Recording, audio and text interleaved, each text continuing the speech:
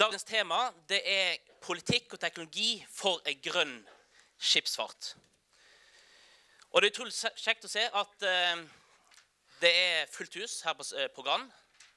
Så hjertelig velkommen til alle, både av publikum og dere som er innledere og paneldeltakere i den politiske samtalen. Eh, mitt navn er Lars Henrik Påp Mikkelsen, og jeg er leder i Norsk Klimastiftelse. Og jeg skal lede denne seansen her de neste to timene sammen med min kollega Kirsten Øystese, som står der borte. Eh, og vi skal eh, ha et bredt program hvor vi skal starte med det store bildet, det globale. Og så skal vi gå inn på teknologi, teknologiske løsninger. Og så går vi til slutt inn på politikk og hvordan den norske politikken bør rigges for å løse dette store problemet. Men utgangspunktet det er at skal vi begrense den globale temperaturøkningen til godt under to grader mot halvannen grad, så sier FNs klimapanel at da må utslippene være ned mot null allerede i 2050. Og egentlig er beskjeden at i hvert tiår fram mot da så må utslippene halveres. Så fram mot 2030 så skal vi altså ha en 50% utslippskutt for at vi skal være i en bane i tråd med det som Parisavtalen har sagt. Det betyr at vi har dårlig tid, og det betyr at vi ikke lenger kan la de vanskelige, krevende sektorene bli, være utenom debatten. Og Det temaet som vi skal ta opp i dag, det er virkelig et tema om en krevende sektor. For én ting er ferge, fergene, de små båtene, fiske, øh, fiskefartøy. Men det er òg en del skip som krysser jeg, eh, alle verdens hav, går fra kontinent til kontinent, flere hundre meter lange, og som bruker flere titalls tonn drivstoff per dag. Hvilken teknologi er det som skal ta disse skipene mot nullutslipp? Dette er krevende spørsmål, dette er viktige spørsmål, og vi er nødt til å finne svar om vi skal komme i mål med det som er det store opptaket, begrense oppvarmingen til halvannen grader.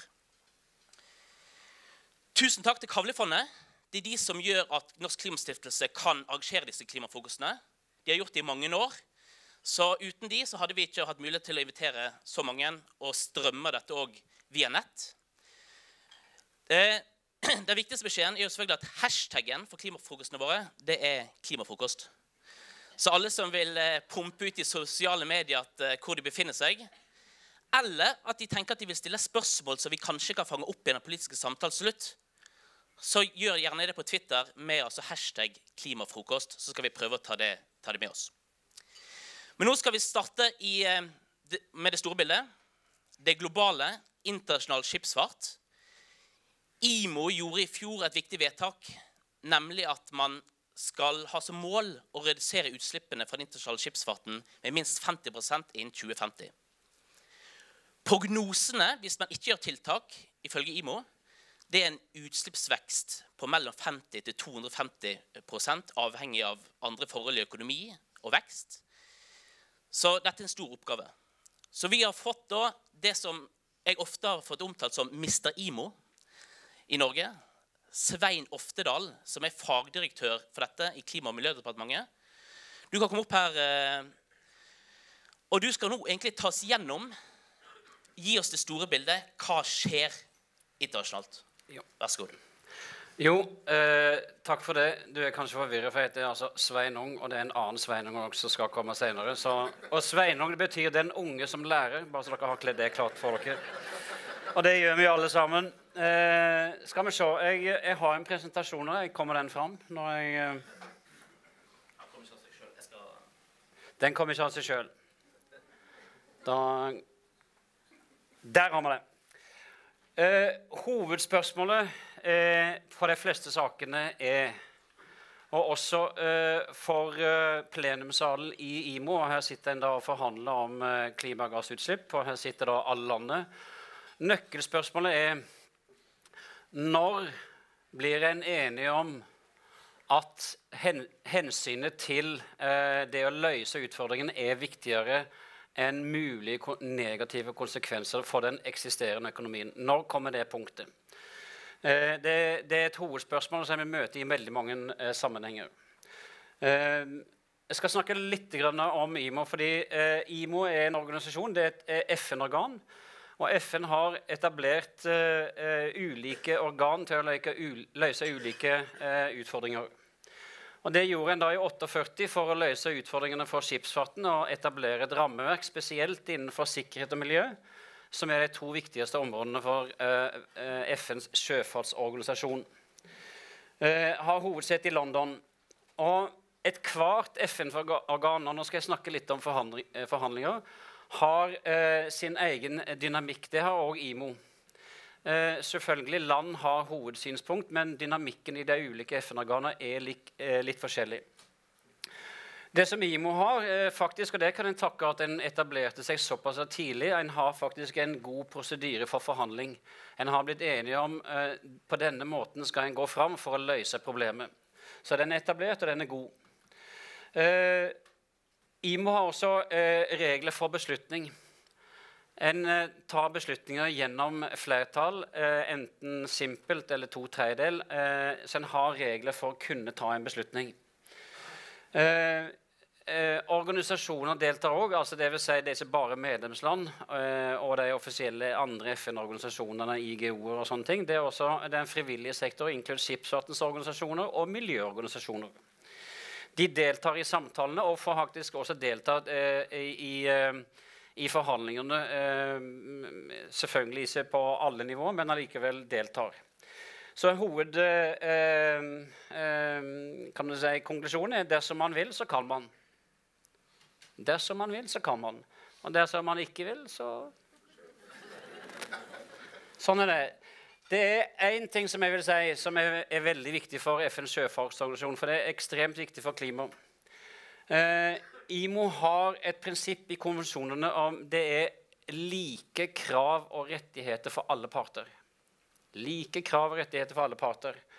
Og så er det også sånn, Hvis du ikke er part til konvensjonen, så skal en ikke behandle en non-parties more favorable. Dvs. Si at skip som kommer til norske havner, hvis de ikke er part av konvensjonen, så må de også følge kravene. Det er to helt sentrale prinsipper. Og i FNs eh, du si, grunnlov, IMO-konvensjonen, så ligger det som et hovedprinsipp at en skal eh, eh, bekjempe diskriminering. Eh, det er viktig å huske på i denne sammenhengen. Eh, når det gjelder IMOs ramme, rammeverket for skipsfarten, så er det altså det globale. så er det IMO sitt. Og Jeg tegner dette her slik fordi at det, dette er da eh, skip som seiler rundt omkring i verden. Og da er vårt ansvar som eh, flaggstatsmyndighet, NIS og NOR, at de skipene som er norske, vi har et ansvar for at de følger de eh, globale kravene uansett som er part til, uansett hvor de er i verden. Det er vårt ansvar. Det de da eh, slipper ut, eh, etc., det er vårt ansvar. Og I tillegg, det norske eh, havområdet her, alle skip som kommer til norske havner, eh, til, må følge de kravene som vi har implementert i norsk rett. Så det rammeverket er ganske dekkende. Så har du òg eh, noen regionale organisasjoner som etablerer noe som ligger litt på sida. Og så kan du òg eh, for skipsfart møte noen lokale krav. Det er det bildet som Harald Solberg og hans medlemmer da møter. Når det gjelder klima, jeg sier 'climate change, global change'. Dette er da eh, det bildet som samler flest eh, statsledere. Eh, kanskje det er slått eh, etterpå nå, men det er 92 i Rio. Og Det viser at eh, klimautfordringen er et svært viktig globalt politisk tema. som dette er fra København, der en prøvde å komme til en løsning. Det samler altså statsledere og har gjort det i flere år for å finne løsninger på dette problemet. En klarte det i, uh, i Paris. Og så er det sånn at uh, verden er gjenstand for forandringer. Uh, noen land har tidligere villet lite, vil nå mer. Og, og, det er jo klart at det, det, henger sammen med internasjonalt lederskap. Og det preger også forhandlingene da i IMO. Faktisk så gjør de det. Viktig å huske på. Så skal jeg ta en kort historie, en kort reise. En ble enige om i, i 92, når en etablerte rammekonvensjonen uh, for klima, vi må løse dette problemet. Rammekonvensjonen er veldig viktig. Så er det da IMO på denne sida her. I 97, september 2090 så etablerte IMO sitt mandat på klima. Eh, at en skulle, eh, og det gjorde en på den konferansen der det ble bindende luftforurensningskrav så hadde en en resolusjon som etablerte mandatet på klima, CO2. Eh, og i hele den prosessen mellom eh, ram, eh, UNFCCC, her er det mangler en C, ser jeg, Klimakonvensjonen og IMOs arbeid, så er det det nøkkelspørsmålet eh, differensiering mellom land eller like krav. Eh, skal en ha frivillige tiltak, eller skal en ha juridisk bindende krav? Og så er det dette her med utslippsmål. Det er helt nøkkelspørsmål. Eh, etter en hadde dette i september i IMO, så vedtok en Kyoto-protokoll i uh, desember. Dessverre må jeg si at de som reiste på det møtet, jeg tror ikke de var klar over at vi i IMO hadde allerede etablert et mandat. Men da etablerte en uh, Kyoto-protokoll. Det som er viktig med Kyoto-protokoll, det satte jo da fart på bindende krav som land påtok på, på, på seg. Og Da fulgte en opp prinsippet om differensiering i Klimakonvensjonen og etablerte dette med anneks 1-land og non-anneks 1-land. De som hadde utslippsforpliktelser, og de som hadde, eh, ikke hadde det. Eh, så hadde en en videre arbeid fra mandatet. Etablerte en da en, eh, en, en policy i IMO. Eh, det skjedde mye mellom her òg, der en sier gjennom en IMO-resolusjon på det høyeste nivå hvilke, hvilken politikk skal vi ha på klima. Det skjedde da i 2003, og da begynte det å eh, bli litt uro, fordi da våkna kineserne. Eh, der de så for, da den resolusjonen eh, baner vei for like krav til alle. Da våkna de, og da ble det vanskelig. Det var også vanskelig å oppfølge Kyoto-protokollen, for en skal gå inn i en ny bindende eh, prosess der. Eh, så etablerte en det såkalte Bali-mandatet på COP et eller annet, som var disse to sporene. Det var det ene sporet som skulle prøve å gå mer mot eh, bindende forpliktelser for alle. Og dette eh, Kyoto-sporet som holdt fast med Kyoto-protokollets todeling. Det hadde store implikasjoner for arbeidet i IMO. Eh, faktisk fordi det å følge opp denne resolusjonen med bindende krav i IMO altså Kyoto-protokollet og Bali eh, skapte oss et enormt problem. Et enormt problem fordi at eh, hvis vi skulle da etablere krav i IMO, så var hovedfrykten for de store u-landene, eh, Brasil, Kina, India og alle disse andre, at det ville skape en presedens i forhold til klimaforhandlingene. Så eh, det betyr at eh, denne prosessen gjorde det veldig vanskelig for, uh, for, oss i IMO å komme fram til et resultat. Men jeg klarte det likevel. Og det, det som er helt utrolig, at det er så få som la, la merke til det. I 2011, fire år før Parisavtalen, så etablerte en så etablerte en juridisk bindende krav for alle parter, i-land og u-land, på klima. Vi kalte det energieffektivitet, for det var én måte å komme rundt uh, problemet på. Men det var altså juridisk bindende krav at du må gjøre et eller annet. Like krav for alle parter fire år før Paris. Eh, og det, det, var en dramatisk prosess. Jeg kunne hatt et foredrag om det også, men det, det var viktig. Så kom Parisavtalen. Det var en forløsende avtale for uh, verdens uh, prosess. Uh, så vedtok en jo òg i, i IMO et krav om utslippsrapportering i 2016. Og så skal jeg over på foredraget mitt. For det, jeg, det, Grunnen til at jeg gjør det sånn, det er et veldig viktig bakteppe. fordi at når det er politisk vilje til å gjøre ting, så skal dette her forhandles fram. Og det er en del på en måte ting som drar i ulike retninger.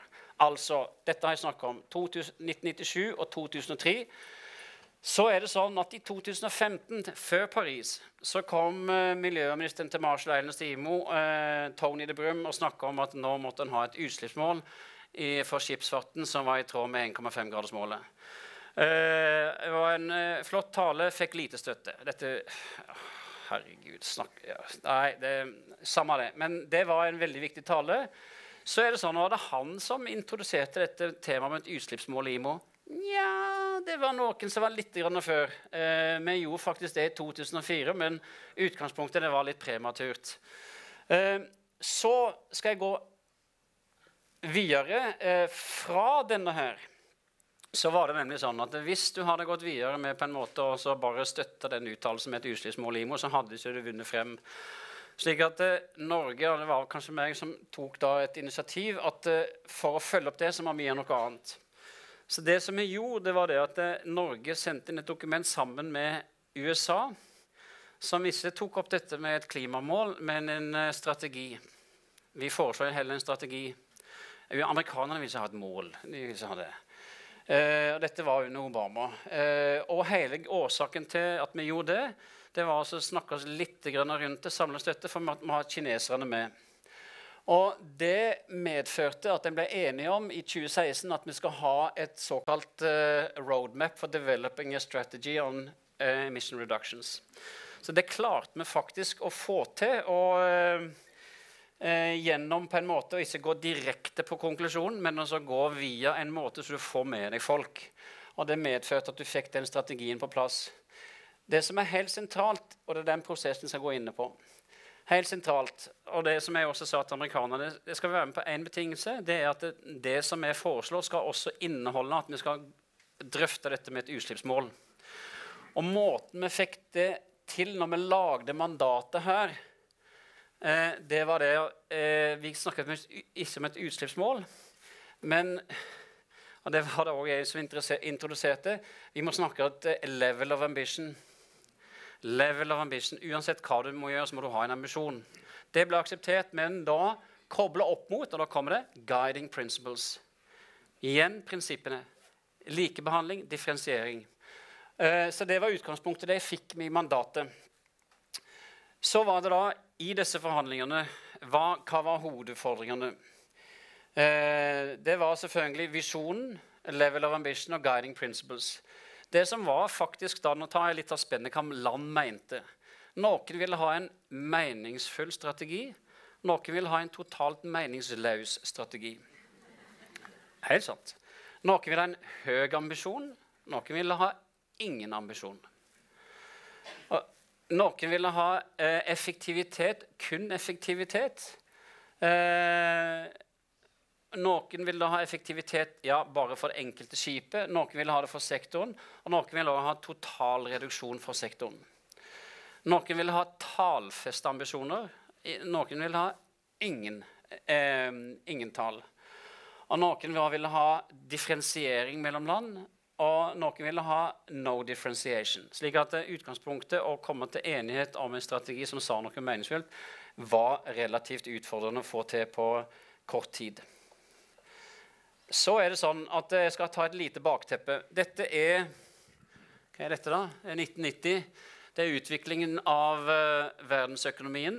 Uh, der dere ser at uh, verdenshandel er den røde øverste. Og dette er da eh, skipsfartens utvikling, så den vokser høyere enn eh, en økonomien. Det er et viktig bakteppe. Den har jeg lånt fra arbeidet i DNVGL, som viser hvor vi er nå i forhold til transport av ulike typer varer, og hvor en tenker seg at en skal, det er scenarioet for hvor en skal hen. Og Det som det betyr, egentlig, ganske enkelt, at det som en må gjøre, det enkelte skipet må gjøre, må være så utrolig mye bedre enn det en kunne ha gjort her nede. Og, og husk, her bestemte seg for å løse klimaproblemet, slik at utfordringen som ble sagt innledningsvis, har vokst i takt med verdenshandelen. Eh, slik at eh, hvert enkelt skip må bidra mye mer. Så er det òg en obs observasjon som, vil, eh, som, jeg vil si. En har ikke oppskrifter helt ennå. Og Dette er også tall som jeg har sendt inn til, eh, til IMO. Og Dette er da eh, to scenarioer, ett med høy vekst og ett med eh, låg vekst. Det grønne er fra business as usual-scenarioet hva vi kan oppnå med det som er currently mature technology and solutions.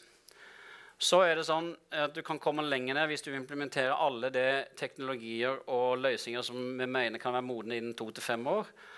Og så ser en at en kan komme ned på et enda bedre nivå hvis en går litt frem i tid. Det betyr at vi tror vi kan gjøre det, men vi vet ikke helt hvordan vi skal få det til i forhold til teknologi og løsninger. Da hopper jeg over den, for dette var forhandlingene. Utgangspunktet for en forhandling, for han sier det ett minutt igjen.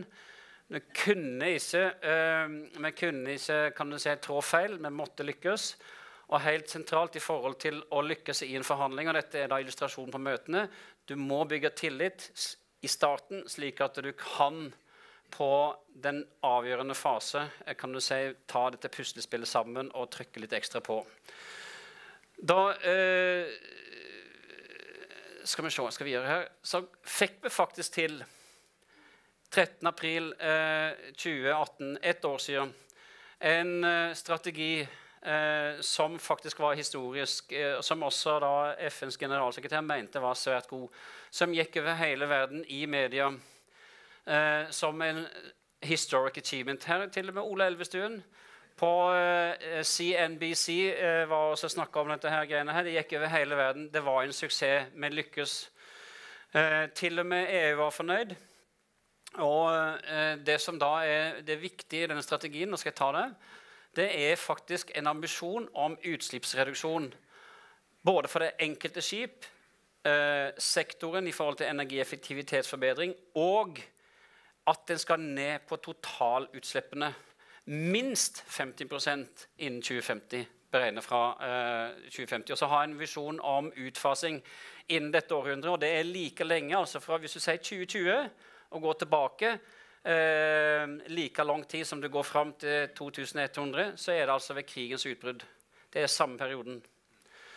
Eh, dette skal jeg hoppe over. Det er oppfølgingsplanen.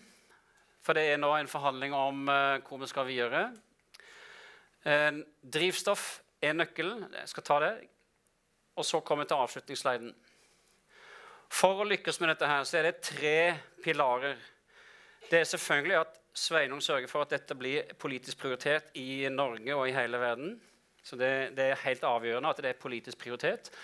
Men det er da altså at en har nasjonalt sett såkalt spearhead policy. At en går så langt som en kan gå nasjonalt for å vise vei. Det andre er at eh, en for internasjonal skipsfart må etablere globale rammeverk som gjør at en når de målene som en skal eh, ha. Og så må en sørge for at alle land henger med, altså utviklingsland. En støtter utviklingsland for denne endringen. Og de tre søylene de henger sammen. Hvis en av de svikter, så går ikke dette. Og Det var det som jeg hadde tenkt å si på min tid. Takk skal du ha. Tusen uh... Du kan bare ha på deg, eh, på deg bøyle, for du skal opp igjen eh, rett etterpå. Takk, Sveinung Oftedal. Sveinung. Nå har vi sett det store bildet fra myndighets- eh. Nå er spørsmålet hvordan ser disse ambisjonene ut fra næringen sin side. Og Da har vi fått administrerende direktør i Norges Rederiforbund, Harald Solberg. Du kan komme opp her. Med 140 medlemmer, 1800 skip og rigge. Hvordan, forholde seg, hvordan forholder de seg til måte, disse ambisjonene her? Og hva er dine refleksjoner om veien videre? Vær så god. Takk for det. Og tusen takk for uh, invitasjonen. Et uh, veldig viktig tema som står veldig høyt på dagsordenen til uh, skipsfarten. og i den prosessen som Sveinung nå har dratt dere gjennom, så har norske myndigheter sammen med den norske næringen vært ledende i å fronte behovet for internasjonalt forpliktende eh, ambisjoner om reduserte klimautslipp fra eh, skipsfarten. Eh, og takket være den innsatsen som eh, Sveinung og norske myndigheter har gjort i IMO, og den enigheten som vi nå har fått på plass i IMO, ambisjonen eh, om en halvering av utslippene innen 2050, så har diskusjonen også i næringen flyttet seg fra en diskusjon om man skal redusere klimagassene fra skipsfarten, til en diskusjon om hvordan kan vi få det til. Hvilke tiltak må vi gjøre på kort, mellomlang og lang sikt for å klare å nå eh, det målet. Og Det har vært en utrolig viktig eh, reise og har vært en eh, helt avgjørende forutsetning for å sikre en ny enighet globalt, internasjonalt. For det er viktig å ha med i betraktningen når vi diskuterer utslipp fra skipsfarten at man kan eie, investere, bygge, bemanne, drive skip fra hvilket som helst land i verden. Den internasjonale flåten den flytter seg over alle eh, landegrenser. og Derfor trenger vi internasjonale reguleringer for å regulere en eh, næring som, man, som, i utgangspunktet er futtlus i forhold til nasjonale reguleringer. Og Derfor er den gjennomgangen Sveinung har gjort nå, så utrolig viktig. Og jeg tenker bare sånn innledningsvis eh, også det er én viktig ting til, siden vi snakker om dette i Norge. Det er at Norge har et fantastisk utgangspunkt det skal jeg komme tilbake til, til å bidra på dette området, fordi vi har et offensivt eh, næringsliv, offensive rederier, utstyrsleverandører, verft, en maritim klynge av tjenesteleverandører og også erfaringsbasert kompetanse fra sjøen. Sammen med offensive politikere, offensive eh, myndigheter som også ønsker en endring på dette. Og ikke minst også en veldig fremoverlent miljøbevegelse. Og til sammen så utgjør dette eh, store eh, norske modellen en fantastisk kraft til å gjøre en forskjell. Ambisjonen er som sagt da en halvering innen 2050, målt mot 2008. Og når man hører politiske ambisjoner på klimasiden eh, på landbasert område, så kan jo veldig mange si at dette her er jo en veldig slapp ambisjon. 50% innen 2050, hva er, hva er, det for noe? Altså det, det, er jo en veldig eh, lav ambisjon målt mot alle de andre eh, målene om halvering innen 2030 osv. Men det, sannheten er at dette er en veldig ambisiøs ambisjon. Hvis Sveinung går til et verft og bestiller seg et skip i dag, så får han det kanskje levert mot slutten av 2020 eller 2021. Og det skipet skal seile også i 2040 og 2045.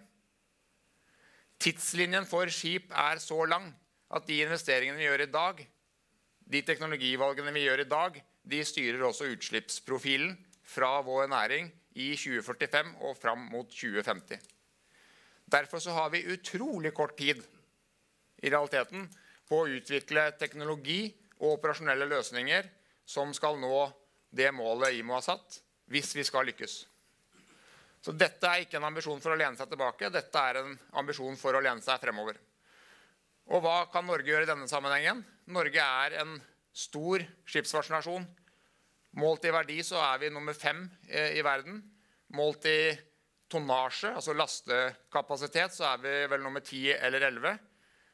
Men grunnen til den store forskjellen er at eh, man gjennom de siste tiårene har investert tungt i dyr eh, tonnasje som er, som er konstruert for å håndtere krevende operasjoner, og ikke for å maksimere lastevolum.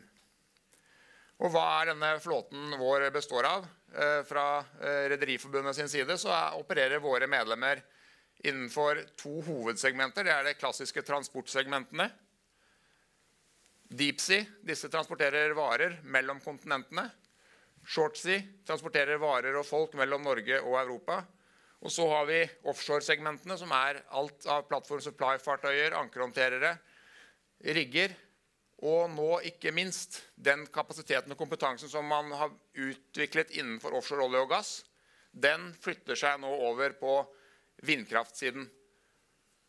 Dette er konstruksjonsskip for, boligskip for konstruksjon av vindmølleparker. og Der ser vi en stor vekst i aktivitet eh, på den norske flåten.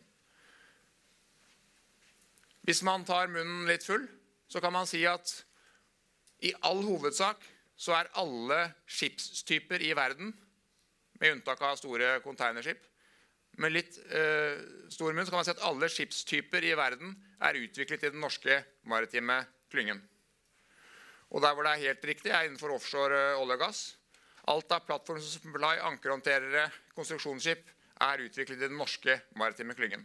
Norge gjør en forskjell, og den forskjellen skal vi fortsette å jobbe for fremover. Den store utfordringen vår er å dekoble vekst i skipsfart med utslipp. Og avhengig av hvor, Sveinung var inne på det, litt avhengig av veksten i verdensøkonomien, så vil utslippsambisjonene, reduksjonsbehovet eh, innen 2050, eh, bli eh, større per skip. Hvis man legger til grunn at et skip i dag slipper ut 100 så vil det samme skipet i 2050 kun slippe ut mellom 20 og 30. Altså Man må redusere utslippene mellom 70 og 80 per skip innen 2050. Og det klarer vi ikke uten at vi klarer å utvikle nullutslippsteknologi. Og Den store, store utfordringen er for de store skipene. De som seiler langt, de har vi ingen løsning for i dag. Den løsningen må vi finne. Og for å finne den, så må vi begynne i det små. Men de som seiler langt, har de største utslippene. De har den største eh, motoreffekten installert, eh, og dermed også den største utfordringen. Fordi det er ingen alternativ å putte batterier om bord i et bulkskip eller et roroskip eller et containerskip som skal seile fra Europa til Asia. Vi må finne nullutslippsteknologi, og det innebærer i praksis nye energibærere med null utslipp. Det er jobben for oss som industri. Den jobben klarer vi ikke alene. Den jobben må vi gjøre sammen med myndigheter, sammen med resten av klyngen og sammen med resten av verden. Har vi tro på det? Vi spør våre medlemmer, og de har stor tro på at vi skal nå målene om klimautslippsreduksjoner. Men det er ingen som egentlig har svaret, i hvert fall ikke for den langtransporterte varelasten.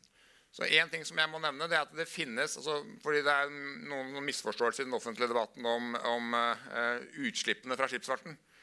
Det finnes i dag ingen mer energieffektiv måte å frakte varer på enn med skip. Skipsfarten frakter 80% av verdenshandelen, står for 2-3% av verdens menneskeskapte klimautslipp.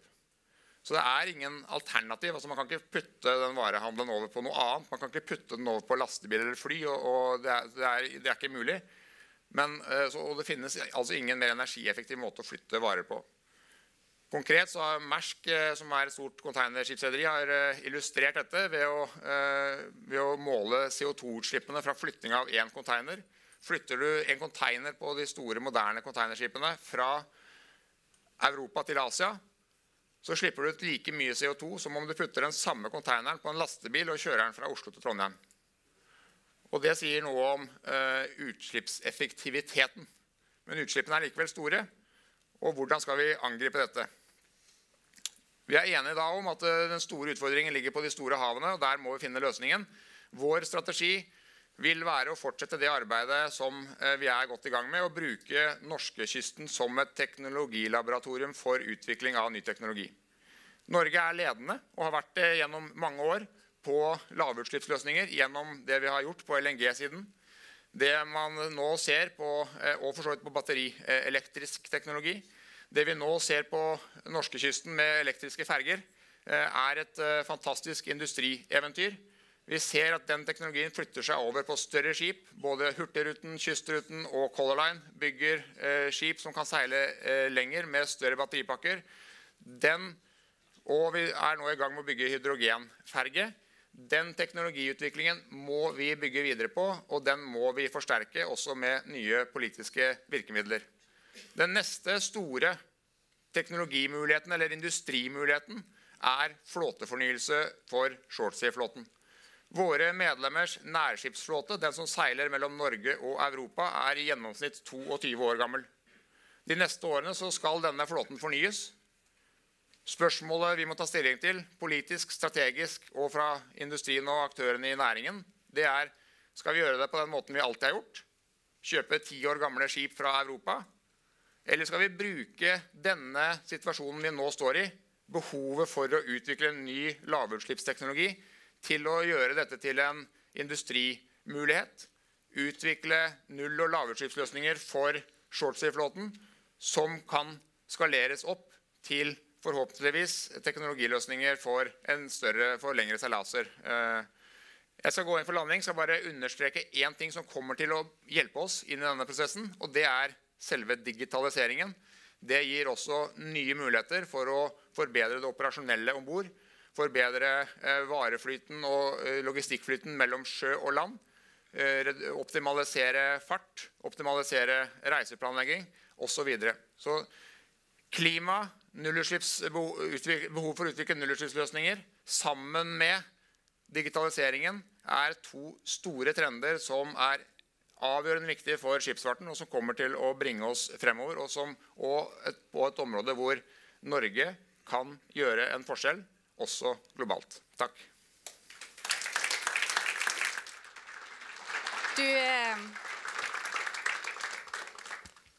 du kan bare komme tilbake igjen og sammen med Sveinung Oftedal, så tar vi en liten prat. Eh, Sveinung, du sa 'dersom man vil, så kan man'. Yep. Nå har man denne ambisjonen. Hvem er det nå som vil, og som trykker mest på for å finne løsninger? Eh, jeg vil si at eh, de som eh, Altså, løsningen for internasjonal skipsfart ligger i aksen Europa-Asia. Det er det som er på en måte verdens maritime motor. De europeiske landene trykker på. Nå er det også sånn at de svakere stilte utviklingslandene, altså de små øystatene, trykker eh, på. Har, men jeg vil si at du har nye land som vil noe på en litt annen måte, men kineserne vil. Japan vil til et visst nivå. Eh, slik at eh, ja, Det er det som er eh, gruppen av land som vil. Og så er det fortsatt noen land som vil gjøre det vondt og vanskelig. Og hva er motivasjonen til de som vil? Eh, det er todelt. Eh, eh, motivasjonen er ganske enkelt at klimautfordringen tar knekken på oss alle sammen. slik at det er den reelle motivasjonen. Og Hvis jeg da går direkte på kineserne Jeg tror kineserne vil, for de ser det akkurat det samme. Og de ser også det er viktig for kineserne å være med på løsningen. Og de ser også nå på en helt annen måte at de kan være med å skape løsningen. Jeg tror selve det, det, som er en veldig tung erkjennelse i store deler av næringslivet, det er at klimautfordringen er vår tids største utfordring. Og vi må eh, produsere varer med lavere klimafotavtrykk, og vi må frakte dem med lavere klimafotavtrykk. Og der må næringslivet også ta sin del av ansvaret og utvikle teknologi for det. Det er en dyp erkjennelse av. Eh, og når Sveinung sier eh, at aksen på løsningen ligger i, eller når løsningen ligger i aksen Europa-Asia, så vil jeg kanskje spesifisere det litt mer. fordi reelt sett så ligger nok eh, aksen i eh, Nord-Europa eh, mot Asia. For det er ganske stor forskjell internt i Europa mellom søreuropeiske ambisjoner og nordeuropeiske ambisjoner. Og, men når man reiser Det er egentlig bare verdt å merke seg det når man reiser til de maritime klyngene i Asia, enten det er Hongkong, Singapore, Shanghai, altså Kina, så er det vi snakker om i næringen, det er disse problemstillingene. Eh, Og alle disse maritime klyngene har ambisjoner om å utvikle teknologi, for alle ser at den som klarer å utvikle teknologi på dette området, vil være en vinner også i fremtiden. Men vi trenger jo mer trøkk på å få innovasjon, få teknologiutvikling til disse store skipene som vi ikke har løsning for i dag. Og hvis vi ser i, i Norge da, i ferjesektoren hvordan krav er det som virkelig har drevet frem teknologiutvikling, hva slags type løsninger finnes for å trøkke mer på for teknologi og innovasjon i disse segmentene her? Jeg tror den store, den store avgjørende eh, det store avgjørende hinderet her er å gå på teknologisiden. Og det å bruke egentlig nær, så kystnær flåte som en sånn teknologilaboratorium. For man trenger å skalere opp eh, løsninger for å se om dette virker, og om man kan seile eh, langt med det. Det er en eh, riktig og viktig vei å gå. Og så må man jo også fremover diskutere om man skal heve kravene knyttet til sånn global standardsetting. Men i Norge så kan vi sette nullutslipp på fergeanbud. En veldig eh, god beslutning og som har bidratt til mye teknologiutvikling. Vi har jo ikke noen tilsvarende internasjonale anbudsstrukturer å, å jobbe med, så man må jobbe sånn som Sveinung sa, med nasjonale politikker, internasjonale regelverk og eh, utvikling for, eh, for eh, utviklingslandene. Sveinung, hva kan Ja. komme? Nei, fordi det du sier er altså den, Denne eh, strategien, der er det eh, flere ting enn denne ambisjonen. Det som en jobber nå er med, er oppfølging av strategien. Og nå skal jeg lede to ukers med forhandlinger i begynnelsen av mai. Og Da er det altså 53 forslagsdokumenter om ulike typer krav som en skal da omsette denne politiske strategien til juridisk bindende krav eh, som sørger for at en får en garanti for at en når, når den, de, disse målene. Og Da blir det altså juridisk bindende krav som skipsfarten må eh, selge. Så vil jeg si én ting til, og det er liksom litt ære til, til næringen. De har ikke bedt om at en skal finne løsninger utenfor sektoren. Sånn som de tenker, så er det sånn at vi skal finne løsning internt i sektoren. Eh, I hvert fall sånn som det er nå. da. Eh, det, er, vel- det er ikke noe sånn offsettingstankegang. Eh, og det betyr at eh, det er den eneste måten å nå verdens eh, utslippsmål på. At eh, alle sektorene tenker hvordan en skal løse det internt i sektoren. Et spørsmål om den norske flåten. For du viste at eh, Norge er femte største nasjon målt i flåteverdi. Veldig store verdier det er knytta til offshorevirksomhet, eh, tankere. Eh, I et sånn klimarisikoperspektiv, da, hva, hva, er faren for Norge som skipsfartsnasjon hvis verden lykkes med klimaomstillingen? Da må, da må skipet også omstille seg og drive i andre næringer. Det har denne næringen eh, gjort eh, mange anledninger tidligere. Eh, men så det, det, det er en omstilling som, som, næringen står i.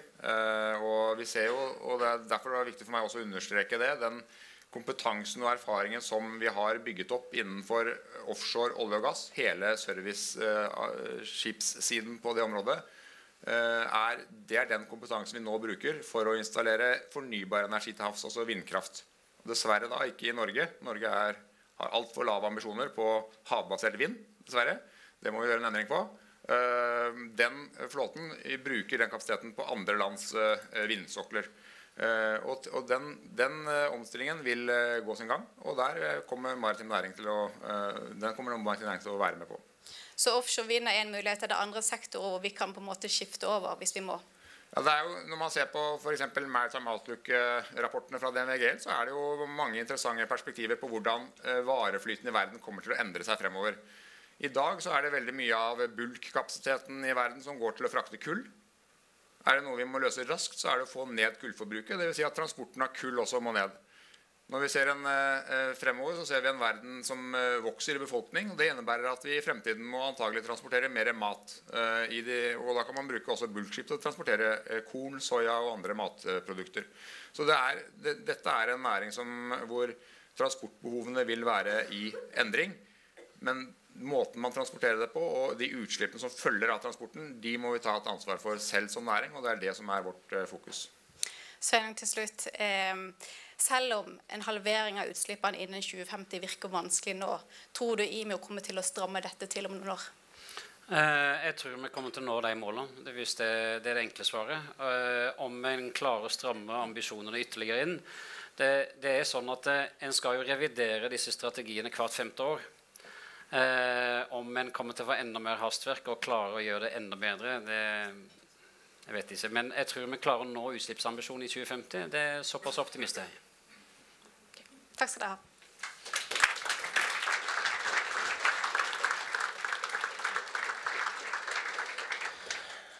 Tusen, uh, tusen takk. Nå har vi snakket om internasjonal shipping. Uh, vi har hørt begrep som deep sea shipping. Vi har snakket, hørt om short sea shipping og nasjonal skipsfart. Alle disse begrepene, hva skiller egentlig det ene fra det andre? Eh, nå skal vi gå mot det nasjonale, og kanskje får vi da litt sånn opprydning. Og det er Kjetil Martinsen i DNV GL som skal sortere litt i det nasjonale, disse begrepene. Hva ulike skipstyper, hva fartøytype er det vi har, som faller inn under de ulike begrepene som vi bruker om denne næringen. Vær så god. Ja, takk. Jeg heter altså Kjetil Martinsen. DNVGL. Hørte jeg DNBGL? Eller var det DNVGL heter vi.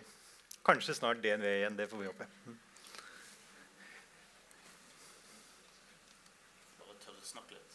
Ja. Jeg skal snakke litt om alle de tingene vi skal sjonglere framover. Og dette er eh, ganske dramatiske ting, og jeg syns det er illustrert ganske tydelig med både det Sveinung har gjort og eh, snakket om her, og, og Rederiforbundet. At uh, dette haster, og dette er ganske dramatisk. Uh, I 1999 kjøpte jeg en elbil. En fransk en. En veldig fransk elbil. Og den var sånn at Hvis du ga litt gass, så det, begynte det plutselig å blinke sånn oransje lampe med sånn skilpaddesymbol på. og Det betydde at bilen gikk i skilpaddemode. Og da var det så vidt det beveget seg framover. Du kunne komme deg hjem. Og det at denne bilen hadde alle disse skavankene og begrensningene som disse tidlige elbilene hadde, det gjorde at jeg endret måten å kjøre på. Skulle jeg akselere opp i 60, og det var et mål, eh, så, så, benyttet jeg meg da først av geologien, eller geografien. unnskyld, og fant en oppoverbakke. og så når, det, den var på toppen, så begynte jeg å akselerere og ta det i nedoverbakken. Og når jeg først var kommet opp i 60, så klarte jeg det ganske greit etterpå. Men det, det jeg prøver å illustrere, det er at det, sånn vil det også være i shipping nå. Vi må tenke ganske annerledes framover, tror jeg. Og litt av grunnen til det, så jeg går litt off topic først her, det er at vi nå har kost oss med drivstoff som ligger her oppe. Og det som viser her, det er den volumetriske energitettheten dette er den gravimetriske energitettheten. Og for skip det er kult å være høyt oppe. Stort sett er det mangel på plass i skip. Du kan gjerne ta noen tonn ekstra, men plassen er et problem. Derfor er det veldig attraktivt å være høyt oppe. og Der ser du diesel her oppe. Dette er altså en raffinade på høyde med altså Du får skotsk whisky til å være ingenting. Det er millioner av år med raffinering i et produkt som er så genialt og så fantastisk på alle ting, bortsett fra denne ene litt leie tendensen til å drive opp temperaturen når vi brenner den. Og så skal vi klare oss nå framover med mye, mye kjipere ting på alle områder, nesten. LNG er en av de mindre kjipe som allerede har fått en del fotfeste. Men du ser, vi må ha dobbelt så mye volum for å klare samme energimengde. Naturgass hallo, det brukes ikke engang av naturlige grunner. Der snakker vi fire-seksgangeren. Hydrogen er det mye snakk om. Og det har en ganske imponerende gravimetrisk tetthet. Men vi ser vi ligger langt her nede. Og da snakker vi om Eh, hydrogen som er kjølt ned til 20 kelvin. Altså minus 250 grader. Eller alternativt her, hvis du komprimerer den til 700 bar, som er også ganske voldsomme ting. Dette er ikke teknologisk lett. Dette er utfordrende, og dette er en skikkelig, skikkelig utfordring altså for bransjen. Og så har vi jo darlingen i norsk bransje for tiden. Se på den lille stakkaren der. Det er batteriene. Og når vi snakker om at batterier utvikler seg vanvittig fort, det kommer til å bli så mye bedre, så snakker vi om 100% forbedring innen de neste ti årene. Da vi, Da kryper den liksom akkurat over kroken her. Det, det, dette er ikke ting vi kan bruke til disse deep sea-segmentet som vi snakker om. Så Det betyr at vi er nødt til å gjøre litt som jeg gjorde med min franske elbil. Du må endre egentlig hvordan du opererer i veldig stor grad også. Og så kommer enda dårligere nyheter. fordi masse av disse tingene som eh, drivstoffene de må pakkes inn. Altså, du kan ikke få eh, hydrogen i 700 bar levert i en plastpose. Det må pakkes inn i en, eh, i en, tank. Og tar du med det inn i bildet her, så flytter dette her så dramatisk. Så det betyr at veldig mye av de tingene vi nå jobber med som lav- og nullutslippsteknologier, det er nedi her. Mens vi er vant til å være her oppe. Så det er klart, Vi er bortskjemte drittunger når det gjelder energi. Og vi skal vi må nå lære oss å bli voksne og håndtere dette på en ordentlig måte. Så Det var oppdragelseselementet av min presentasjon. Så kom jeg på litt kjedeligere tall. Og Hvis vi ser på skipsflåten som beveger seg rundt i Norge, så er det ca. 6500 skip. Pluss en del litt mindre. Og eh, våt tørrbulk mange. Godsskip mange. Men så er det også det at disse skipene det er skip som er bare innenfor det norske området som kalles NØS, norsk økonomisk sone. ser vi på forbruket i disse skipene, så ser vi at det er våt tørrbulk, tank og bulk og sånne ting, de store her oppe, som står for mye. Så har vi fiskefartøyene som er litt spesielle. de omhandles litt spesielt. Men dette er altså alle skipene som beveger seg innenfor norske soner. Hvis vi samtidig tenker på at de skipene og de utslippene som Norge har ansvar for, så er det kun skip som går mellom norske havner. Altså nasjonaltrafikk. Utenrikstrafikken det er f.eks. Kiel-ferja. Den går fra Oslo til Kiel. Det er utenrikstrafikk. Det er ikke en del av det regnskapet. Og så er det tredje kategorien, skip som bare passerer gjennom Norge. som aldri er innom noen havner. Det er gjennomgangstrafikken. Ei heller den har vi noe ansvar for i, i våre eh, rapporter.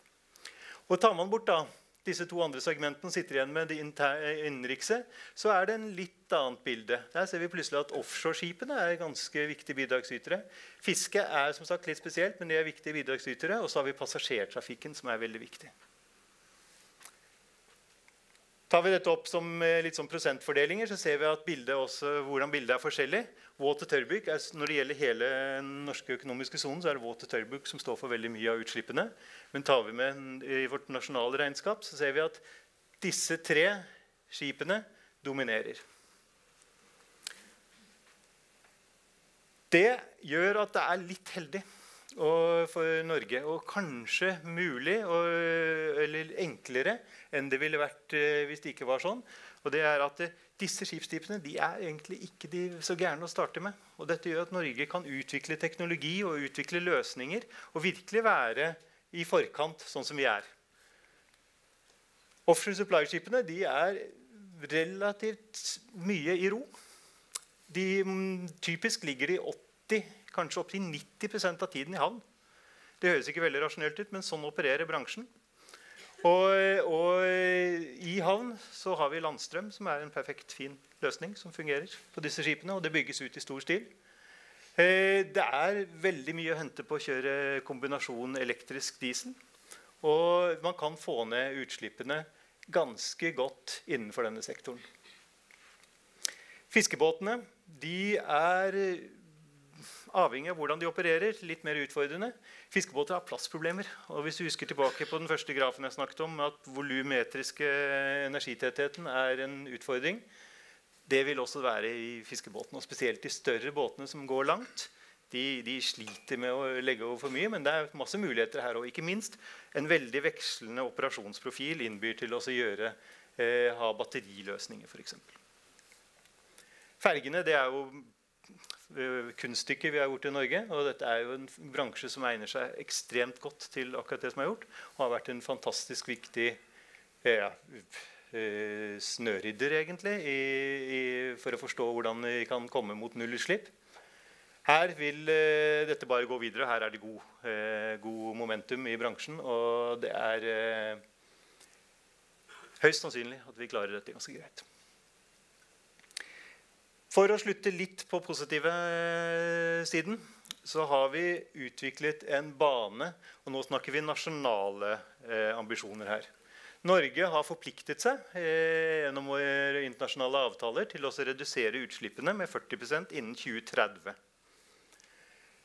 Eh, Jeløya-erklæringen var det vel som der man også fastslo at man ønsket å høyne dette til 50% Og dette er i og for seg mulig gitt at vi begynner i forgårs og virkelig pumper inn, eh, inn, eh, initiativer her. Energioptimalisering og effektivisering er mulig. og Der snakker vi min franske, tilbake min franske elbil. Det er liksom Vent med akselerasjonen til over bakkene. Gjør alt riktig når det gjelder operasjon.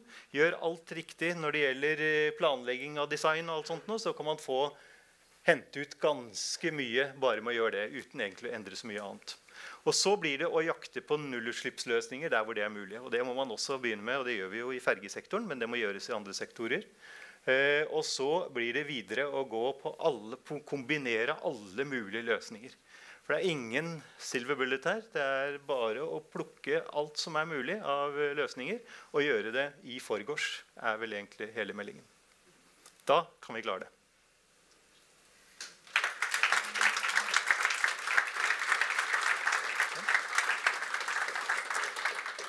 Tusen takk. Du kan bare beholde den, for du skal opp i en liten samtale etterpå. Okay, Tidligere denne uken her så var jeg i Trondheim på en veldig god konferanse som het Energy Transition i regi av NTNU og, og Sintef og, og, flere. Og Da ble jeg presentert med et soldrevet skip som eh, noen i Sintef hadde da skrevet kontrakt på skulle bygges eh, mynter for jeg tror det var Nord-Afrika eller Midtøsten-markedet. Og Det var jo nok et eksempel på sånn Oi, er det mulig? Og Nå skal vi snakke om hva er mulig. Nå har vi fått litt sånn, trukket litt ned eh, forventningene, kanskje. Men nå skal vi få inn opp eh, Anders Walland fra Sintef Ocean, som er den delen av Sintef-miljøet som jobber med alt som har med hav. Enten energi, mat, transport, you name it. Så Anders Walland, du kan komme opp her. Og spørsmålet litt, det er jo egentlig hvilken teknologier som kan ta oss mot nullutslipp. Svaret med andre ord svaret. Ja. Tusen takk for at jeg ble invitert for å komme og snakke. Har du sikkert min presentasjon her også. Eh, vi jobber jo med alt innenfor eh, havet. Det er derfor vi heter Sintef Ocean. Eh, nå var det ikke vi som eh, tegna kontrakt på et soldrevet fartøy, men vi er med på å se på hvordan du skal utvikle det og få det til å funke. Og det er relativt lita ferge. Skal vi se hva som skjer her nå. Der. Så der var det store da, hvilke løsninger vi har eh, som gir potensial til å møte de utfordringene som alle sammen har snakka om her nå eh, tidligere i dag.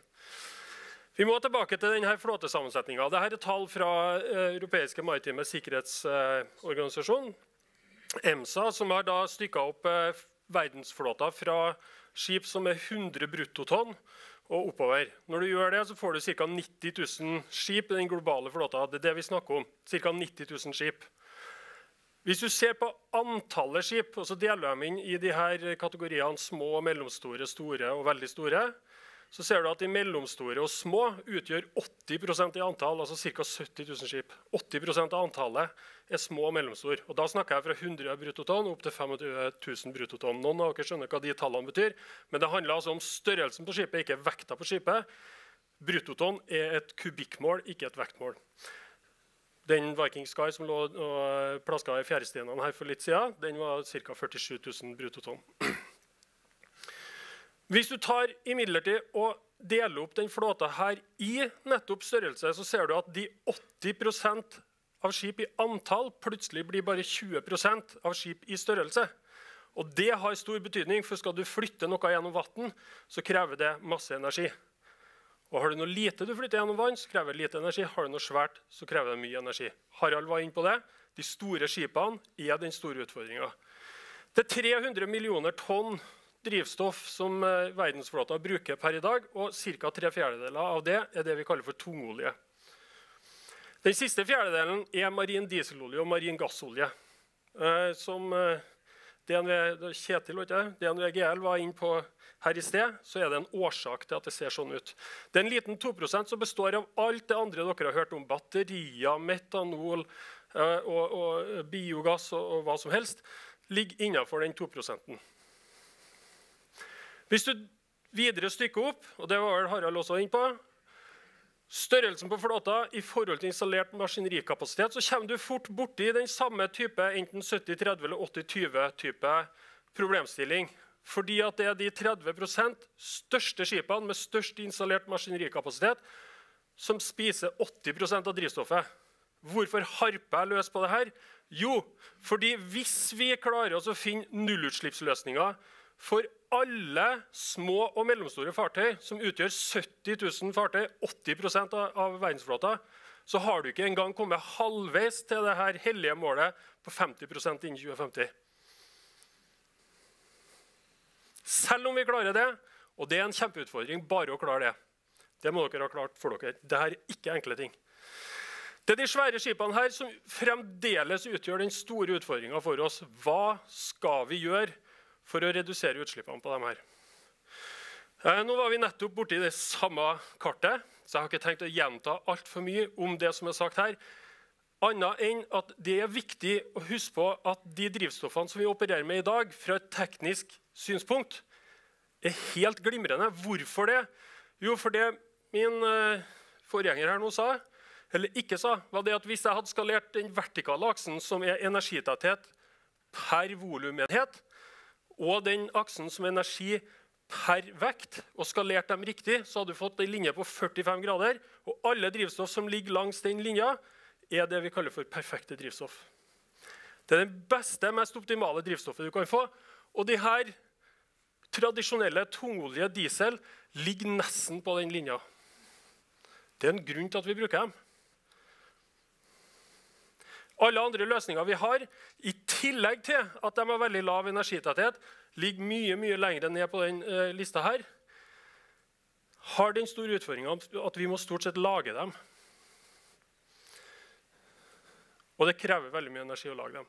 Men det som også er interessant, da, du, eh, det blir stilt et spørsmål, hva skal du gjøre når du legger ned oljeindustrien og alle de svære oljetankerne? De kommer til å få det veldig travelt. For det den figuren her også betyr, er at hvis du skal frakte masse ammoniakk, som ligger her på den skalaen her, og er omtrent en fjerdedel av tettheten på de drivstoffene vi allerede frakter, vel, da skal du frakte veldig veldig, veldig mye ammoniakk. Du trenger mye mye mer fraktarbeid for å gjøre det. Det må man også tenke gjennom. Skal du produsere hydrogen, så må du kanskje bare glemme å frakte det. For det er så volumkrevende at det blir nesten helt idiotisk. Så du må kanskje bare produsere det lokalt.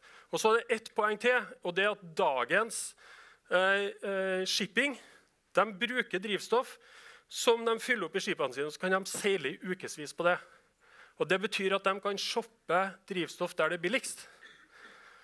Skal du bruke noe sånt som det her, hydrogen, så får du ikke til det. Da må du kjøpe drivstoff hver eneste gang. og Det vet den som leverer drivstoff, og det påvirker prisen. Det er viktig å huske på. Fordi at drivstoff er ikke den eneste løsninga for å kutte utslipp fra shipping. Vi har gjort en studie, en såkalt metastudie som har sett på hva publiseres av uh, mulige utslippsreduserende tiltak for shipping. Detaljene i denne figuren ser dere ikke, men hovedpoenget er at vi har delt dem opp etter farger. Gule, grønne, røde, blå. Og det de handler om, er at det er de røde her som handler om drivstoff. Alt det andre handler om at du kan bygge skrogene dine annerledes. Og du kan drifte skipene dine annerledes. Du kan bruke dem annerledes. Hvis et skip går fullt av cargo en vei og tomt tilbake, så har du kanskje et potensial å gjøre ting bedre. Jeg har lista opp en rekke varianter, forskjellige muligheter som man har i dag. Plusser og minuser. Hva er utfordringene rundt dem? Batterier har allerede sagt de er altfor tunge og altfor lite energitett. Men de er helt fantastiske når du skal bruke dem på et lite, lett skip som går sakte og kort, som kalles en norsk ferje. Akkurat det samme som koblinga mellom en batteri og en bil, for en bil bruker jo ikke effekt. En bil bruker jo ikke effekt. Når du først har kommet opp i hastighet, så sklir du jo bare av gårde. Du er ikke borti gasspedalen omtrent. Derfor så passer batterier til bil. Akkurat det samme gjør de til ferger. Men skal du begynne å gå fort eller stort eller tungt, så gjør de ikke det. Og da kan jeg bare illustrere Et av verdens største maritime batteri som blir installert, blir installert på kystruta. 6 MWh. Og da får de til å seile inn og ut av Geirangerfjorden. Og for alle som vet hvor de seiler til vanlig, fra Bergen til Kirkenes, så vet de at det er en fryktelig, fryktelig liten andel av den seilingsruta. Og så er batteriet en siste akilleshæl. Og det problemet deres er at hvis du bygger et svært batteri, så krever det masse, masse effekt å lade opp. Så de, det er en forferdelig vanskelig løsning. Hydrogen har jeg allerede snakka om. Det har også veldig store energitap i verdikjeda si når du skal produsere det. Du kaster bort ca. i dag 75-80% av energien du putter inn, kaster du bort før du får hydrogen du kan bruke til noe.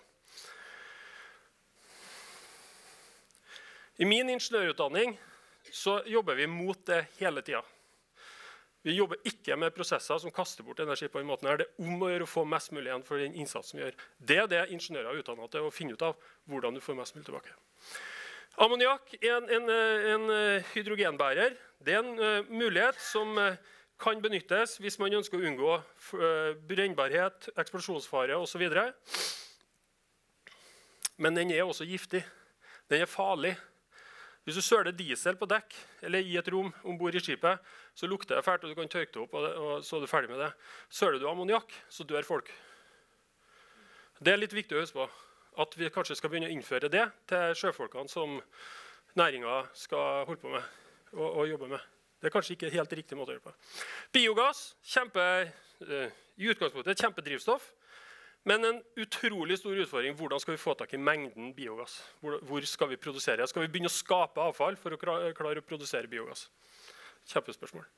Biodiesel er uh, kanskje veldig veldig kontroversielt. Man må gå for en type tredjegenerasjons avfallsbasert uh, dieselproduksjon for å få det til. Men der også er det jo, som for biogass, et stort spørsmål hvor mye får vi tak i. Og så har vi det som jeg kaller for syntetiske drivstoff som er alle mulige drivstoff du kan lage syntetisk. Altså Du kan skape drivstoffet, du kan bestemme hvordan det skal se ut kjemisk. Men det koster masse, masse energi. Så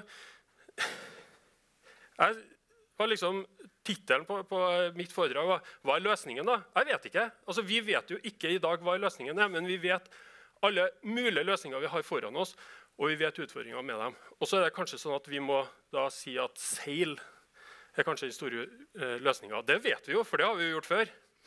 Og, og, så, og, og jeg, jeg, må si at Personlig så stiller jeg meg spørsmålet hvis du først skal på cruisetur, hvorfor ikke seilbåt? Men OK, det var en liten sånn anekdote. Og så må jeg si en ting som jeg ikke har skrevet opp, for det er jo ikke lov til å skrive opp, men det er K-ordet. som vi kaller det når jeg får ett minutt igjen. K-ordet, eller kjernekraft. Hvis du virkelig ber denne næringa gå for null utslipp så raskt som man ber om, så ber du om den løsninga. Det må du også være klar over.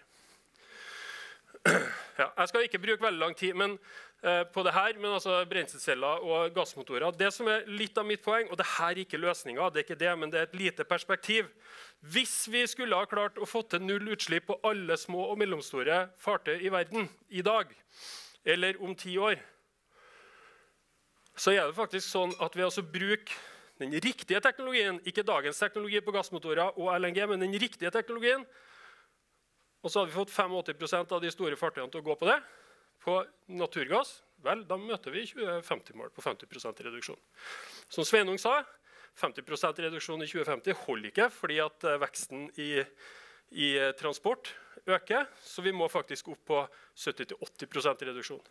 Og Da vil ikke den løsninga være god nok. Men hvis vi gjør det på biogass, så kan vi fremdeles nå målet. Så vi driver også leker litt med å se på hva slags tiltak er det som måte, som jeg skryter litt av oss sjøl til slutt. Vi åpner en eh, brenselcelle hybridlab i Trondheim eh, på onsdag. Eh, det blir faktisk, eh, Nå har jeg skrevet Norges, for jeg er litt beskjeden av meg, men det er faktisk verdens eneste installasjon av denne typen som et uavhengig forskningsselskap driver, og som inneholder et helt maskinerioppsett for skip. Dette er våre verktøy for å finne ut av hvordan vi skal løse den utfordringa. Og som jeg har sagt til dere, vi vet ikke løsninga nå, så vi har masse arbeid framover, og det gleder vi oss til. Takk for meg.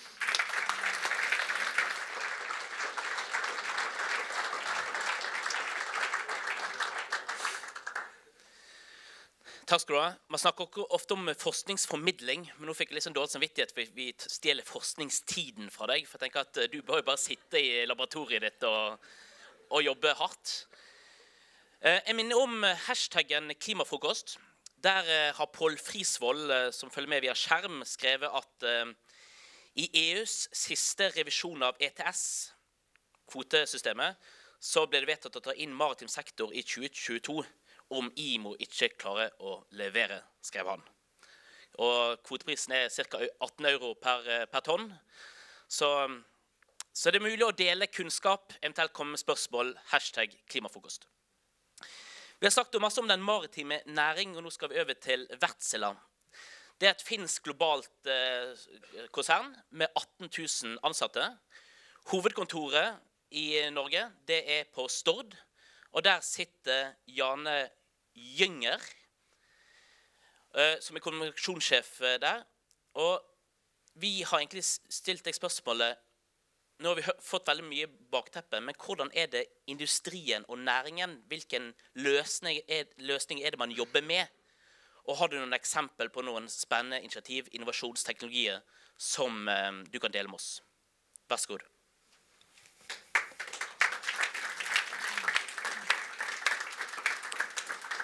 Jeg kunne ikke fått bedre innledning enn du hadde. Eh, Veldig mange av våre eksperter snakker om det samme. Vertsla i Norge er fem firma. Vi jobber i Moss med utslippsteknologi, eller redusering av det som går opp og det som går ned fra et skip. I Asker driver vi med gasshåndtering. Har nettopp kjøpt Pjørgass i Sverige. Biogass eh, er satsingsområdet. I Drammen lager vi bruløsninger for skip. Hovedkontoret vår er dessverre på Rubbestadneset, Bømlo. Men vi har òg et stort kontor på, eh, på, Stord, og der driver vi med skipsdesign. Og vi driver med framdriftsløsninger for skip. Og vi som har hovedkontor på Rubbestadneset, Bømlo, vi kan nullutslipp i skipsfarten. Vi har gjort det i tusenvis av år. Men eh, vi skal videre. Og det vi har jobba med de siste årene, som er omtatt her, er hybridteknologi, elektrifisering. Jeg tror at den muligheten og den kunnskapen og den eh, måten vi jobber på i Norge, tett samarbeid mellom leverandør, kunde, styresmakter Når vi gjør ting om bord på Norled Vi har brukt Norleds ferje Folgefond som et teknisk laboratorium de siste fem årene. Først så ble han hybrid. Han kan gå både hybrid og fullelektrisk i 2014.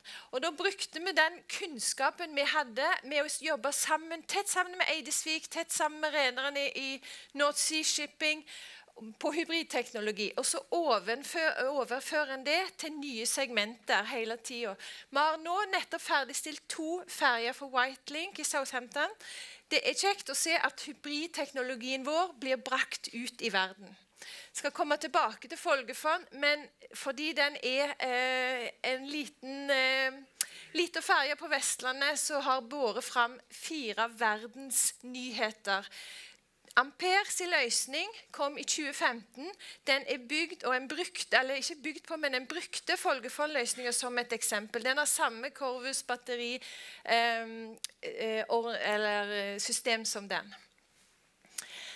Ja, Wärtsilä, hva er det dere tenker på med en motorproduksjon? Produsent. Eh, på Rubbestadneset i 1903 så fant, eh, klarte Haldor Haldorsen å sette sammen en forbrenningsmotor. Den ble masseprodusert. Og eh, kjøpte Wickman-motoren. Det er en stolt tradisjon i vår bedrift for å lage motorer. Det grønne skiftet er utfordrende for samfunnet vårt, men det er òg utfordrende for bedriftene. Det ligger identitet i det å lage en eh, en fantastisk effektiv motor. Hva gjør en da med våre ansatte som nå skal være med på et nytt eventyr, på en ny eh, teknologiutvikling? Vi må jobbe internt, og vi trenger en verdig overgang i, til grønn teknologi i samfunnet, men vi trenger det òg internt i bedriftene. Vi er i ferd med å gjennomføre en eh, transformasjon av vår egen bedrift. Dette er siste hybride oppgradering vi har levert. North Sea Giant. Eh, tre batteripakker. Den sparer når vi bare sjekker her, eh, to millioner liter diesel i året. Altså det sier North Shipping at de sparer 13 millioner kroner årlig på den forbedringen, pluss 2 millioner i NOx-avgift. De tingene der må vi ha med oss. Fordi kostnaden på de grønne løsningene må ned for våre kunder. Ellers vil det ikke skje, det grønne skiftet. Så en innsparing på 14-15 millioner i året for et rederi er mye penger. Når vi vet at Enova har gitt halvparten av denne utviklingen, så etter tre år vil de begynne å spare penger på en hybridløsning. Da kan vi få det til. Men vi trenger de statlige insentivene. Vi trenger òg å innovere sammen med de ansatte. Hva er det vi ser på? Det skal jeg snakke litt om nå. Eh, vi jobber veldig eh, masse med å tenke fram tenke nye løsninger, pushe oss sjøl sammen med kundene våre og styresmaktene. Vi ser òg akademia. Vi ser at vi må jobbe helt annerledes enn tidligere. Før så var vi en produsent som kunne levere en motor til en kunde. Så var den dealen gjort. I dag så driver vi med samarbeidsteknologi. Vi sier at vi utvikler teknologi sammen med våre eh, kunder, men òg med konkurrenter må vi begynne å jobbe med. Vi må begynne å jobbe med lokale myndigheter. Vi må begynne å jobbe helt annerledes for å lage det smarte maritime økosystemet som vi har som vår visjon. Gjennomdigitalisert, der du kutter veist. Eh, DNVGL sin rapport sier at 25% av drivstoffet blir brukt i land i havn. Nei, ikke i havn, i land, men i havn. Hvorfor skal han bruke så mye drivstoff der? Det er ikke godt for byen, det er ikke godt for eh, atmosfæren. Vi må ha helt nye ordninger på plass. Tror vi kommer til å komme der vi har en løsning der du kan eh, Slått optimalisering. Du vet hva tid du skal inn, du vet hva tid du skal ligge og bunkre, du vet hva tid du skal lasse og losse. Da trenger vi helt nye, større infrastrukturer òg for hva slags drivstoff du skal ha om bord. Vi har jobba veldig mye med dette med lading. Eh, det er en del av det infrastrukturen. Eh, for å få ned eh, For å øke sikkerhet for de om bord, for å få ned tid på lading, så tenker en ulike løsninger. En kan swappe batteriene inn og ut på ferja mens en tar inn og ut folk. En kan eh, ha trådløs lading. Denne teknologien er overførbar på passasjertransport, mindre båter. Dette testa vi eh, for første gang på Nordleds i ferja Folgefond igjen. 2017 ble trådløs lading installert. Eh, den klarer å lade ferja til den overfarten den skal ta. Du må ha et ladepunkt i hver ende. Eh, Folgefond har òg vært vårt eh, testskip for autonom shipping. Eh, vi har lenda, som vi sier på Vestlandet, altså denne ferja. Vi har tatt den inn, eh, automatisk anløp, og han har automatisk crossa, eller kryssa fjorden. Sånn ser det ut når du for første gang slipper spakene. I dette rommet I dette rommet så har vi Sjøfartsdirektoratet, vi har eh, teknologileverandøren og vi har Norled. Sammen så gjør de denne teknologiske ny, verdensnyheten eh, mulig. Og du kan spørre hva skal vi med autonom skipsfart? Er det egentlig mulig? Eh, vil vi der? Skal vi ta jobben fra disse her eh, eh Espen Haukanes, som denne kapteinen heter? Han sjøl er positiv fordi det gir større trygghet, sikkerhet for hans operasjoner. Norled er positiv fordi det kutter veist når det gjelder å bompe inni eh, Når det gjelder matrosen som skal plugge, nei, som skal plugge inn, da går, har du trådløs lading, du går automatisk inn. Kapteinen ser på det som skjer i eh, havnebassenget, men han trenger ikke tenke på det andre. Hvorfor jobber vi med autonome skip? Fordi vi ser at i framtida tror vi at dette vil være en helt annen flåte. Skip vil være annerledes. De kan operere autonomt.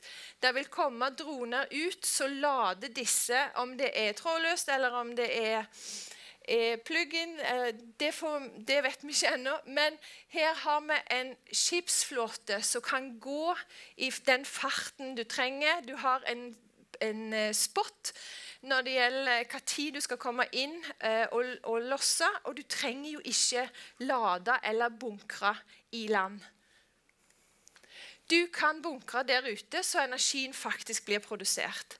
Eh, kan, eh, vi vet at grønn hydrogen, grønn ammoniakk eh, og elektrisitet kan selvfølgelig produseres offshore. Det kan vi i Norge. Vi er de beste på dette.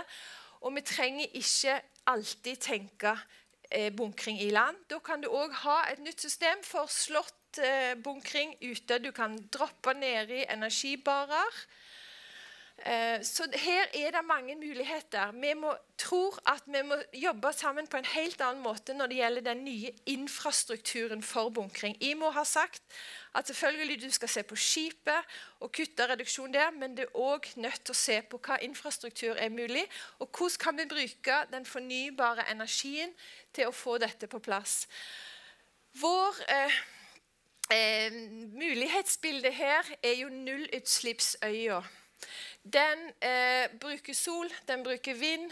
Du har skip som ser annerledes ut enn de gjør i dag. De går eh, med den farten en trenger. Og hvis en skal over Atlanteren, så kan en bruke eh, en måned hvis en vet når en skal inn. Hvis en ikke har gods, så trenger den farten. Eh, vi har, ser òg på ulike måter å gå i lag eh, med autonome skip. Og du, eh, vi tror på andre businessmodeller. Eh, der en har et tettere forhold mellom transportør og de som skal transportere. Vi som selskap kan velge denne eh, utgangspunktet her.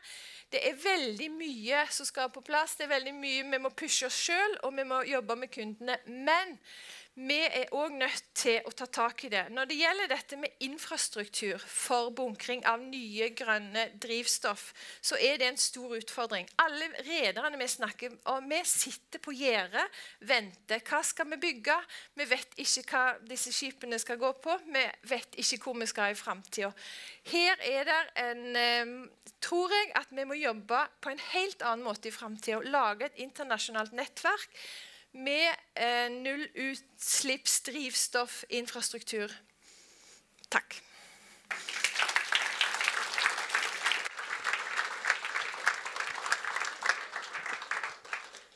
Eh, du trengte ikke gå ned, bare kom opp igjen, du. Og så hvis eh, Kjetil og Anders også kommer tilbake igjen. Eh, både mm, Anders Walland og Kjetil Martensen var jo veldig tydelige på at eh, diesel og tungolje det er jo fantastisk deilig. Det funker så bra, og ingenting kan slå det. Eh, Gynger, er du litt mer optimistisk i forhold til hva vi kan få til med de nye teknologiene? Jeg tror vi kan få til det vi vil. Men jeg tror at vi må Det trengs investeringer.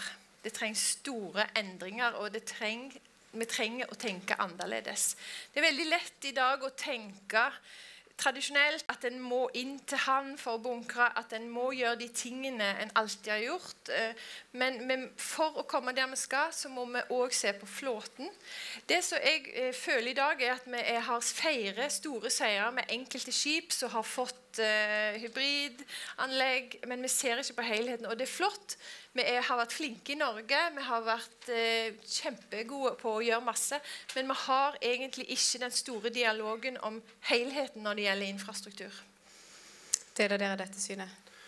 Ja, altså jeg gjør jo det.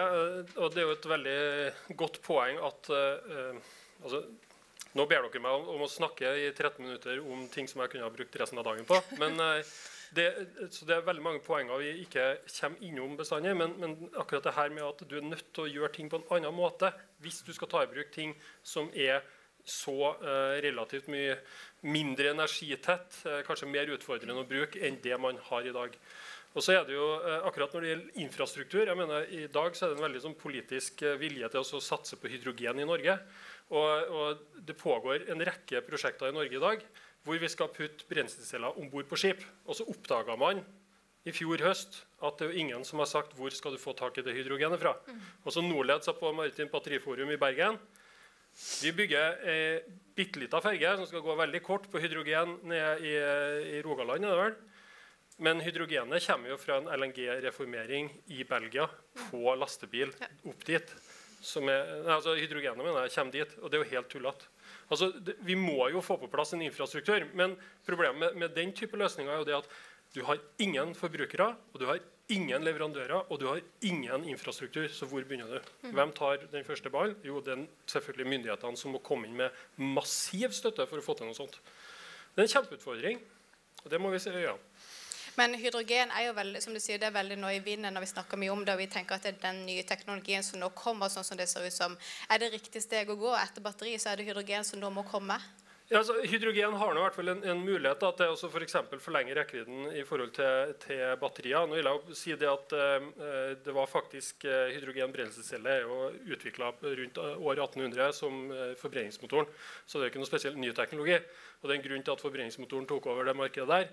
Eh, det, jo, altså det, er først nå de siste årene at man på nytt igjen har begynt å snakke om brenselceller. De er ikke noe magisk ved dem som gjør at de er vesentlig bedre enn andre løsninger.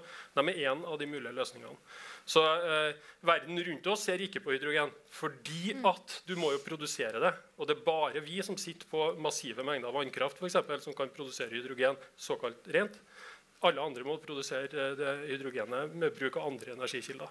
Skal du produsere svære mengder hydrogen, da snakker vi nok en gang kjernekraft. Det finnes ingen andre eksisterende muligheter. Sol og vind og sånn er altfor puslete.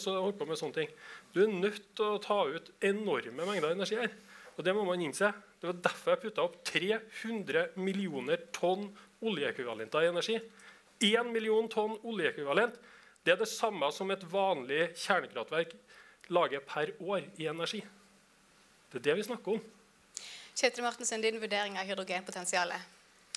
Ja, altså jeg, jeg, ser jo også litt potensial. Island ville jeg investert noen aksjer i. De kunne jo pumpe litt vann ned i den bakken sin, og så kommer det opp eh, masse energi. Eh, altså, Spøk til side, det, det, noe sånt noe må eventuelt være noe utover ja. alternativ til kjernekraft. Og det, det syns jeg er en spennende løsning. Jeg synes også Mengden energi er litt sånn illust, godt illustrert med et poeng med at eh, vi skryter av nå at det har vært utrolig mye investeringer i batteri på skip. Det er Totalt 300 megawatt-timer er installert på batterier. Og det tilsvarer ca. en halv tankbil med diesel. Mm. Det er jo hele verden vi snakker om. Ja. Men muligheten til å utvikle batteri, eh, forbedre lademuligheter og den type ting, gir det et større potensial for batteri fremover enn det vi har i dag?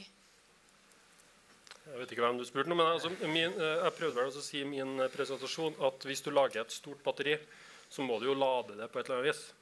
Løsninga som Wärtsilä snakker om, som man gjør for ferga, at man har et, eh, gjerne et batteri i land som står og, og, lader sakte og rolig. og Så kommer ferga inn, og så pumper du masse energi om bord i løpet av ti minutter. og Så kjører ferga, og så står batteriet og lader sakte og rolig. Men hvis du skal ha et svært skip med et svært batteri, så krever du altså, en, en middels stor, relativt liten fraktebåt som laster 300 tonn drivstoff i timen, det tilsvarer, hvis du regner det om til elektrisk effekt, den elektriske effekten som den byen her bruker. På ett skip. Man må, man må forstå størrelsene man snakker om, for å, for å forstå hva det, det her innebærer. Og det er det som er, er akilleshæren til batteri. er jo nettopp det at Lager du dem store, ja, så krever det enormt med energi å lade dem opp. Mm. først. Ja, og Vi også ser på dette med landstrøm er bra. Det er løsningen på mange måter. Men eh, det er òg en akilleshæl. Ja. Du kan ikke bare føre så mye strøm eh, gjennom byen for å ta den til skipene. Og vi ser at der vi opererer i alle de små eh, vikene og ferjeleiene, så er det ikke elektrisitet tilgjengelig. Vi må jobbe helt annet med kraftselskapene for å få den elektrisiteten på plass. Sånn at vi tenker at eh, vi, vi, trenger jo ikke å komme, eh, gå inn til land for å få den energien når den faktisk blir produsert offshore, der båten er. Så her er det en annen måte å tenke på vi ser som en mulighet. Ja, det vil være utrolig eh, disruptive for hele næringen. Det vil kreve investeringer. Men vi må òg se på forholdet vårt til byen og det området en skal operere i. Da vil en slippe, hvis en har lada andre plasser, å gå inn i fjorden, gå inn i byen med eh, utslipp. Jeg bare ønsket å gjøre litt poenget også. Altså Der hvor el og batteri er egnet, altså du har tilstrekkelig energitetthet og tilstrekkelig energimengde, så er det jo helt fantastisk. Det er ingenting som slår det. Så, så det er jo viktig at det er en veldig viktig del av løsningen her. Den andre tingen som er viktig å skille, er også dette med landstrøm versus ladestrøm. Altså Landstrøm generelt er jo ikke de voldsomme effektene, spesielt ikke den norske sammenhengen. Det er relativt moderate båter som krever et sted mellom 100, 500, 600-700 kW maks. Og det er relativt greit i de stedene vi har gjort noen studier på akkurat hva som er tilgjengelig nettkapasitet osv. Så, videre, så er det ikke de store utfordringene. Utfordringen kommer i det øyeblikk man kommer inn med et skip som skal være der relativt kort, og så skal fylle opp et svært batteri. Da blir det store effekter. Og fergene er jo nettopp et sånt eksempel. Og dette er jo også en av grunnene til at man der ofte benytter batterier på land som buffere. Som så overfører fra batteri til ferge igjen for å nettopp overkomme problematikken rundt nett. En annen viktig ting er også hva gjør man med tariffene rundt nett. Altså man, altså nå er det jo effektleddbasert eh, prising som skal innføres i veldig mye større skala. Det Potensialet er jo at det sparker litt bein unna eh, vår satsing på, på, batteri og hybrid, hybridisering. Nettopp fordi at effektene kan bli ganske store da, som vi nevner når det gjelder lading. Og da kan prisleddet bli såpass at det gjør det veldig eh, uøkonomisk. Generelt er alle disse alternativene uøkonomiske. Det er utgangspunktet, rett og slett. Dessverre. Men hvis oppgaven er at diesel og olje det skal ut, og batteri går bare et visst stykke, hva blir da de teknologiene som vi må satse på nå? Ja, men jeg tror eh, det, det er jo det som er, altså, Vi ser et veldig sånn heterogent marked akkurat nå. med at Det ikke, finnes ikke én sånn gullhårløsning som på en måte kommer og ordner alt for oss. Så, så Det er jo kanskje det som er, er den store utfordringa. Jeg er jo enig i batteri, landstrøm. altså bare se på i Trondheim havn, der Hurtigruta nettopp la om sin ruteplan. Det har de jo ikke gjort på vet, 70 år. eller et eller annet sånt. Fordi at vi ikke har landstrøm nok i Trondheim havn. To hurtigruter. De er jo små. Altså I verdenssammenheng så er de små. Og, så, så det, er jo, det, er jo, nettopp den type utfordring vi står overfor. Det må jo investeres massivt for å få fram nok eh, til og med landstrøm, som er faktisk en, en relativt beskjeden sak. som det her. Og så er det jo poenget at, det, at, du får ikke noe utslippskutt hvis landstrømmen din ikke er produsert av noe som er utslippsfritt. Mm. Og I verdenssammenheng så er jo det relevant. I Norge så sitter vi på vannkraft. Vi er jo kjempeheldige. Vi har en fantastisk ressurs i vannkraft. Men vi må ikke glemme det at vi kanskje lager løsninger som er helt superfantastisk gode i Norge, men som ingen i resten av verden egentlig tenker å bruke så mye tid på.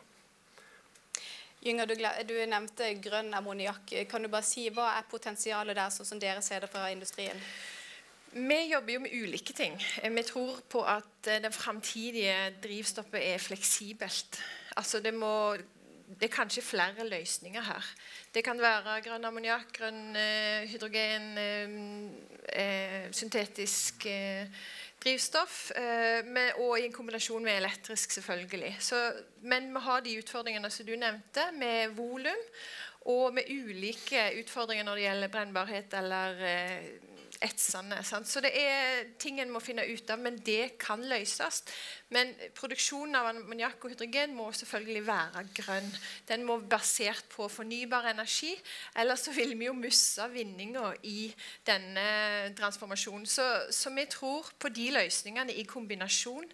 Eh, men, poeng, men eh, vi må ta oss over den Atlanteren. Og da tror vi òg at vi må finne de løsningene som gjør at skipet ser annerledes ut, går med helt annen fart, har en helt annen eh, design, blir nytta helt annerledes. Bare helt kort avslutningsvis.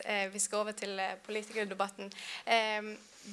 Næringa kan gjøre noe, men hva trengs av politikk for å få til et sånt skifte? Helt kort fra alle tre. det trengs penger. Ja. Da skal jeg bruke samordning. Jeg, da. Altså både tariffer, prising, støtteordninger, insentivordninger osv. Ja, enig med det. Vi trenger skattlegging av forurensing. Vi trenger en bedre samarbeid om den infrastrukturen.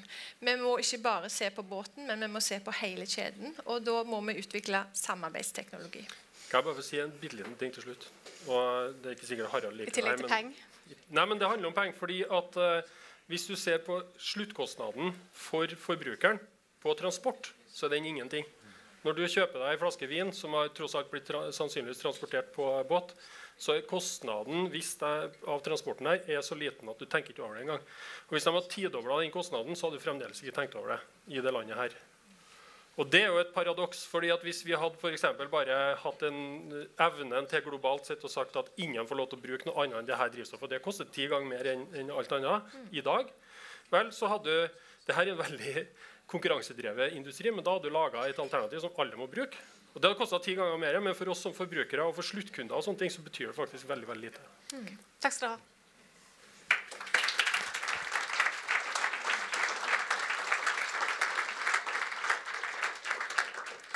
Kan dere bare gå bak og skifte mikrofon.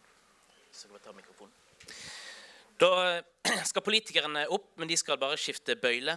Eh, og Som et lite oppspark til den eh, diskusjonen så har jeg fått Marius Gjerseth, som er teknologiansvarlig i Zero.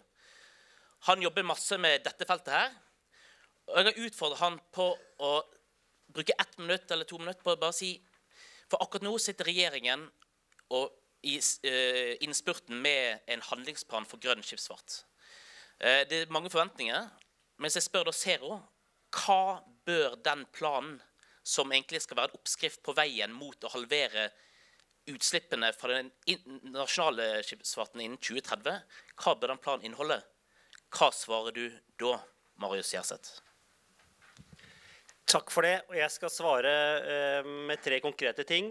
Og så skal jeg bare dra det rett over fra en liten kommentar, liten en kommentar fra de forrige gående. fordi Når du plasserer opp teknologer og skal snakke om de nye løsningene, så kan det ofte høres ganske krevende og vanskelig ut. og Spesielt hvis det er forskere som, som eh, ligger i forskningsfronten eh, på det. Og også gjerne har lyst til å ha finansiering til å forske videre. Og Det er bra, vi skal ha det, vi trenger det. Men vi altså Hvis noen nå hadde kommet med en ny løsning, og det er at vi skal bruke tungolje, asfalt, til å, omtrent asfaltlignende drivstoff til å kjøre maskinene på, og vi ikke hadde gjort det før Vi hadde aldri gjort det. Altså det er De maskinene som er utvikla over lang tid for å gjøre det, de er kjempekompliserte. Og det er veldig vanskelig å drive, bruke det, en del av tungoljen.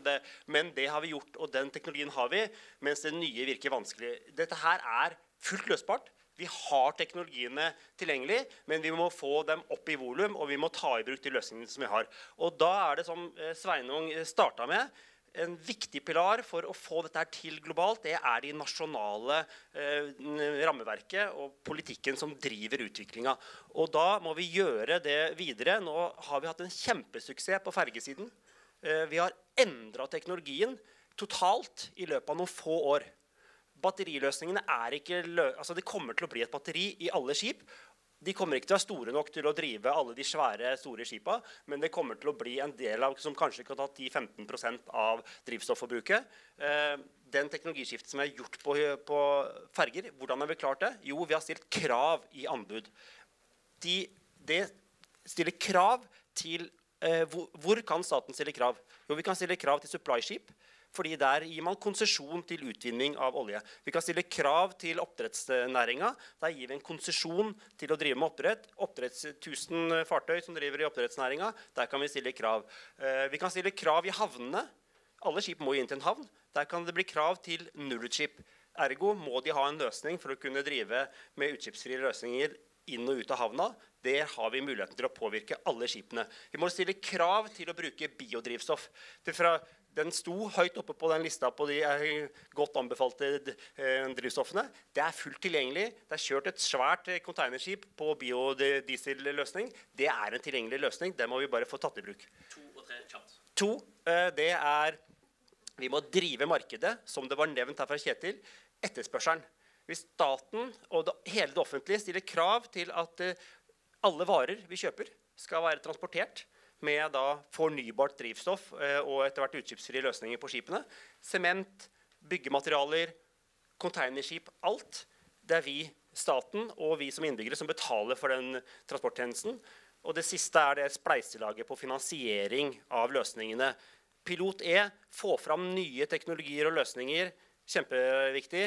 Eh, og fylkene gjør en viktig jobb på ferger. De skal gjøre den samme jobben nå på hurtigbåter. Der trenger vi en litt spleiselag hvor staten må være med på å finansiere. Dit krav, driver markedet og et spleiselag på løsninger. Da har vi halvert utslippene eh, lenge før 2030, hvis nå Sveinung Rotevatnet og regjeringen leverer på det. Marius Gjerseth, Zero. Takk. Da vil jeg gjerne opp eh, statssekretær Sveinung Rotevatn fra Klima- og miljødepartementet. Ruth Grung, som er eh, stortingsrepresentant for Arbeiderpartiet. Og så til slutt så vil jeg ha opp eh, Arild Hermstad, som er nasjonal talsperson for MDG. Miljøpartiet De, De Grønne. Jeg vil gjerne begynne med deg, Sveinung. Nå har jo, Vi starta med det store bildet. Og så nå kommer man liksom ned til en nasjonal handlingsplan for hvordan vi skal komme oss mot en halvering av utslippene fra den nasjonale sjøtransporten innen 2030. Mm. Dere sitter i innspurten. Før påske skal denne planen komme. Så sier Zero at uh, den bør inneholde altså Man bestiller strengere krav overalt der det kan uh, skje. Man bør, uh, Han nevnte fylkeskommunen. altså at De som, som kjøper på en måte de bør kompenseres for økte utgifter. Og så sa han òg, eh, som også ble sagt i teknologidiskusjonen, at mer penger inn i teknologiutvikling, fartøysdemonstrasjon osv. Vil dere levere på dette? jeg kan i hvert fall si at Alt det er ting vi definitivt vurderer og ser på i det arbeidet vi har hatt nå. Ja, ikke sant? Ja. eh, og så er det selvfølgelig slik at Når, vi, eh, når planen er klar, så er planen klar. Og Da har vi gjerne et fokusmøte for å presentere den.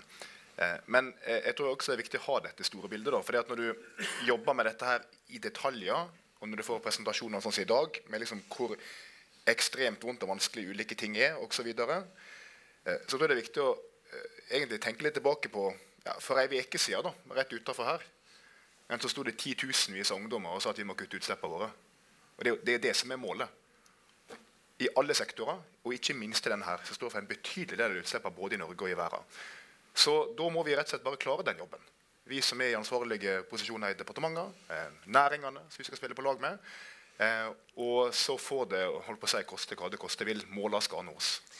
Men Jeg skjønner at du ikke kan si liksom hva nøyaktig hva politikk som kommer. Men kan du si litt om hva type plan For var, Regjeringen sjøl har spilt veldig masse opp til denne planen. Sant? Vi kommer med en plan, så derfor det er en grunn til at det er veldig store forventninger. Så kan du bare si liksom, hva, hva, type redskap blir det? Blir det på en måte en plan som sier liksom, nøyaktig liksom, steg for steg, år for år mot 2030? Hva må til? Eh, nå blir det nevnt sånn, Hvis du tar de nasjonale utslippene, da, så var det jo liksom noen ut, fartøyskategorier som skiller seg veldig ut. Offshorefartøy, fiskebåter, hurtigbåter. Vil man gå inn på disse sektorene og si sånn foreslår regjeringen at vi skal kutte utslippene innenfor dette fartøysegmentet? For ja, altså vi, vi, ser på alle fartøyskategorier. Vi ser på hva som må til. Vi kommer selvfølgelig til å oppsummere hva som er gjort allerede, som i og for seg er en del, særlig på ferje og innenriks. Eh, og så får vi vel også ha med oss og, og, understreke det at eh, det Norge blir målt på, og det som er vår eh, hovedjobb etter eh, FN-konvensjoner osv., er å redusere våre innenlandske utslipp. Eh, og det skal vi definitivt klare. Eh, og så får vi håpe at det vi gjør på den biten, kan være med å bidra også til å redusere globale utslipp gjennom teknologiutvikling eh, osv. Men vi snakker om ganske betydelige utslipp. Altså når du måler den reelle aktiviteten på bare innenriks sjøfart i Norge, så snakker vi om 4,8 millioner tonn. Eh, som er mye. Det er vel ja, omtrent en utslippene fra nasjonal luftfart f.eks. Så dette er på en måte, eh, det er ikke noe ubetydelig i det hele tatt i det store bildet. Og klarer å redusere fra eh, fiske, fra eh, transport, fra ferje osv., offshore ikke minst, så hjelper det oss godt på vei for å nå våre nasjonale klimamål i totalen. Og ikke minst på de konkrete målene, som er 50% reduksjon i den sektoren innen 2030. Rødt Grung, du uh, sitter i næringskomiteen. Uh, og dette temaet her, det, jo, det berører jo liksom det både utenriks og det næringspolitikk, det er miljøpolitikk. Men hvis Ap hadde styrt, hvordan ville en plan mot halvering av utslipp i 2030 sett ut? Hvilke tiltak ville dere prioritert? Uh, en, uh, så tror jeg det er veldig riktig det som ble nevnt nå, at vi må se de ulike flåteelementene. Jeg var litt overrasket over at nærskipsfart ikke ble løftet opp, for det har Rederiforbundet løftet opp uh, flere ganger. for de har, og det er veldig lite marginer. Så, altså, jeg har vært rundt i sektoren, så det er iallfall punkt én. Punkt to er det som Jane tar opp. Det er infrastrukturen. Jeg håper at dere tør å sette søkelys på For dette er viktig at Norge har potensial til å være et laboratorium. Hvis vi klarer å sette søkelyset for den lage en infrastruktur der havner gjerne fortsatt kan være lokaleid, men at eh, Norge som nasjon setter standard på hva som skal være i de ulike havnene. Alt fra logistikksystemer, drivstofftilgang eh, og kommunikasjon. Også, Jeg har jo vært på Rubbestadneset og Stord. eh, det der med de øyene ute det har Maritim Cleantech, som er en veldig spennende Eh, klynge i Sunnhordland. De har lansert det tidligere. Altså Hvorfor skal alt være inne i havnene, men å ha sånne stasjoner? Og Der får du også vindkraft fram. Eh, det tredje er å lage fleksible eh, innovasjonsstøttesystemer. For denne næringen endrer seg så fort Uh, og vi har jo ikke lykkes tidligere, også når Arbeiderpartiet var i posisjon, når vi har laget våre handlingsplaner, så har det ikke gitt noen resultater. Så det å ha en fleksibilitet, et ambisjonsnivå, men også en fleksibilitet For denne næringen er jo egentlig den næringen som ligger foran de politiske beslutningene. Og så avslutningsvis uh, så blir jeg løftet opp. Jeg sitter i næringskomiteen. Det er den nest største næringen vi har i Norge. Eh, til forskjell fra elbilene, hvor vi har brukt 11 milliarder, så er det den næringen som én kan bidra til verdiskapning som når olje gradvis fases ut. To sysselsetting i hele landet. Tre løse de globale utfordringene på klima. Så veldig bra at dere har dette møtet i Oslo. Eh, kysten, vi skriker på dette kommer fra Vestlandet. Det gjør jo dere òg. Ja.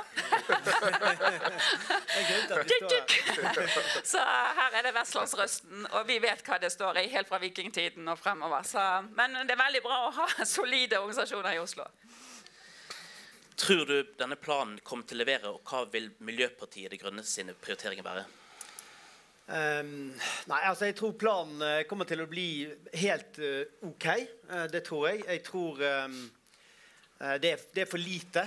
det kommer til å være for lite penger, det kommer til å være lite makt som ligger bak det. og så er jeg litt opptatt av hvilke andre planer er det vi driver og legger i dette landet. Og For to år siden så vedtok jo regjeringen en nasjonal transportplan.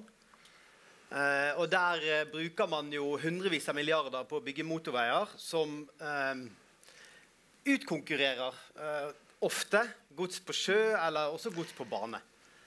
Som også kan ses i sammenheng og er en stor mulighet for hvordan man kan faktisk eh, frakte ting utslippsfritt. Eh, og det, jeg husker Vi satte av ganske mange milliarder til å elektrifisere kysten. Og fikk sånn Ja, men hvordan skal dere bruke de pengene? Og det er ikke bruk for så mye penger. Og det har jeg i hvert fall hørt i dag, at jo, det er bruk for ganske mye penger. Så hvis man klarer å få en nasjonal transportplan til også å sette av masse penger til elektrifisering, så ville det hjulpet veldig mye. Og så er det På den ene siden så er det fantastisk å være her og høre på alle mulighetene. For det, det er virkelig Norge har vanvittige muligheter til å ta dette skiftet. Men på den andre siden så er det disse ungdommene da, som står og streiker. Og da må, da må vi jo spørre hvorfor er diesel så sinnssykt billig? Både i Norge, men også selvfølgelig internasjonalt. Det, det, må vi faktisk gjøre noe med også. Og Der kan du skaffe de pengene og lage fond.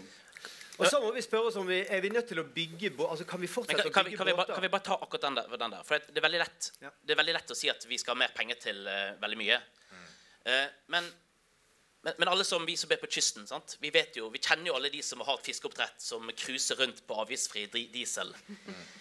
Altså, ikke det egentlig helt på trynet å ha avgiftsfri diesel når du hører om hva utfordringer vi skal løse, og det er samtidig behov for penger i andre enden som kan få frem den teknologiutviklingen? Så hvis du tar fiskebåtene da, som et segment Hva tenker dere om å måtte, skrote den avgiftsfrie diesel kjapt hele runden, og så kommer et par andre konkrete? Svein Rotevatn, avgiftsfri diesel. Ja, nå, nå sitter vi faktisk i diskusjoner og forhandlinger med organisasjonene på fiskerisida eh, om hva de er i stand til å forplikte seg til og levere av utslippskutt. Og det er klart, Da er det jo eh, ris bak speilet i så måte. Men i likhet med landbruksnæringa ønsker vi å ha en dialog med dem først, i alle fall, og se om det er mulig å forplikte seg til å kutte det som trengs. Fordi at Fiskeri må kutte mye, ingen tvil om det. Men vi har også andre virkemidler. som Senest et par uker siden så jeg i Bodø var med og døpte en uh, ny fiskebåt. Eller hvis Jeg fikk ikke døype den, for jeg er ikke kvinne i bunad, men jeg fikk, eh, jeg fikk, jeg fikk stå og se på. Eh, og det, den skal eh, ha gjort veldig enkle grep. Har fått litt støtte fra Enova. 5 millioner, tror jeg det var. Eh, og med de grepene har de klart å installere noen batteri, gjort noen endringer i skroget. Ser at den båten alene kutter sine utslipp med 30 Men, men det, det er enklere å subsidiere. Men hvis, hvis alle tiltak skal subsidieres og drives frem med, med offentlig støtte, så vil jo pengene ta slutt. Hva syns dere om avgiftsfri diesel, Ruth? Eh, Det var vi som stoppet det, tror jeg, med Olav Akselsen sin tid. Um, og eh, det er en sånn dimensjon på um, Man opplever en splittelse litt i dette landet. Eh, veldig mye penger går til Oslo, og relativt lite til kysten. Så det er viktig, og der var jo egentlig det som man diskuterte i forhold til IMO-prosessene. Det å se at man løfter nasjonalt, og alle bærer en byrde. Elbilene er her, subsidiering, og så skal vi liksom den lille gode vi har med oss. Det, det, det er opplevelsen vi har. Så når man pakker inn politikk, så blir det utrolig viktig å vise at dette gjelder hele landet og en hel flåte. Fiskeriflåten de har tjent ganske mye penger store deler av den siste tiden og investert i nye. Men eh, fiske går opp og ned og går litt på flaks og kvoter. Så de har utfordringer med eh, de støtteordningene vi har. Så de bør jo eksportkreditt. eh, at de også kan fornyes, sånn at de kan bygges mer. Veldig få av de bygges i Norge. De bygges faktisk i Danmark. Eh, så det er viktig at vi ser hele totale klyngen under ett. Eh, det er iallfall en svakhetstegn. Og det samme på nærskipsfart også en svakhetstegn. Så den dieselbiten der må pakkes inn, sånn at den blir smart. Politisk smart. Men det var et ja. Tja. Eh, Jeg kjenner mitt eget parti, så blir det tja. da blir det tja. Offshore var en annen fartøysgruppe.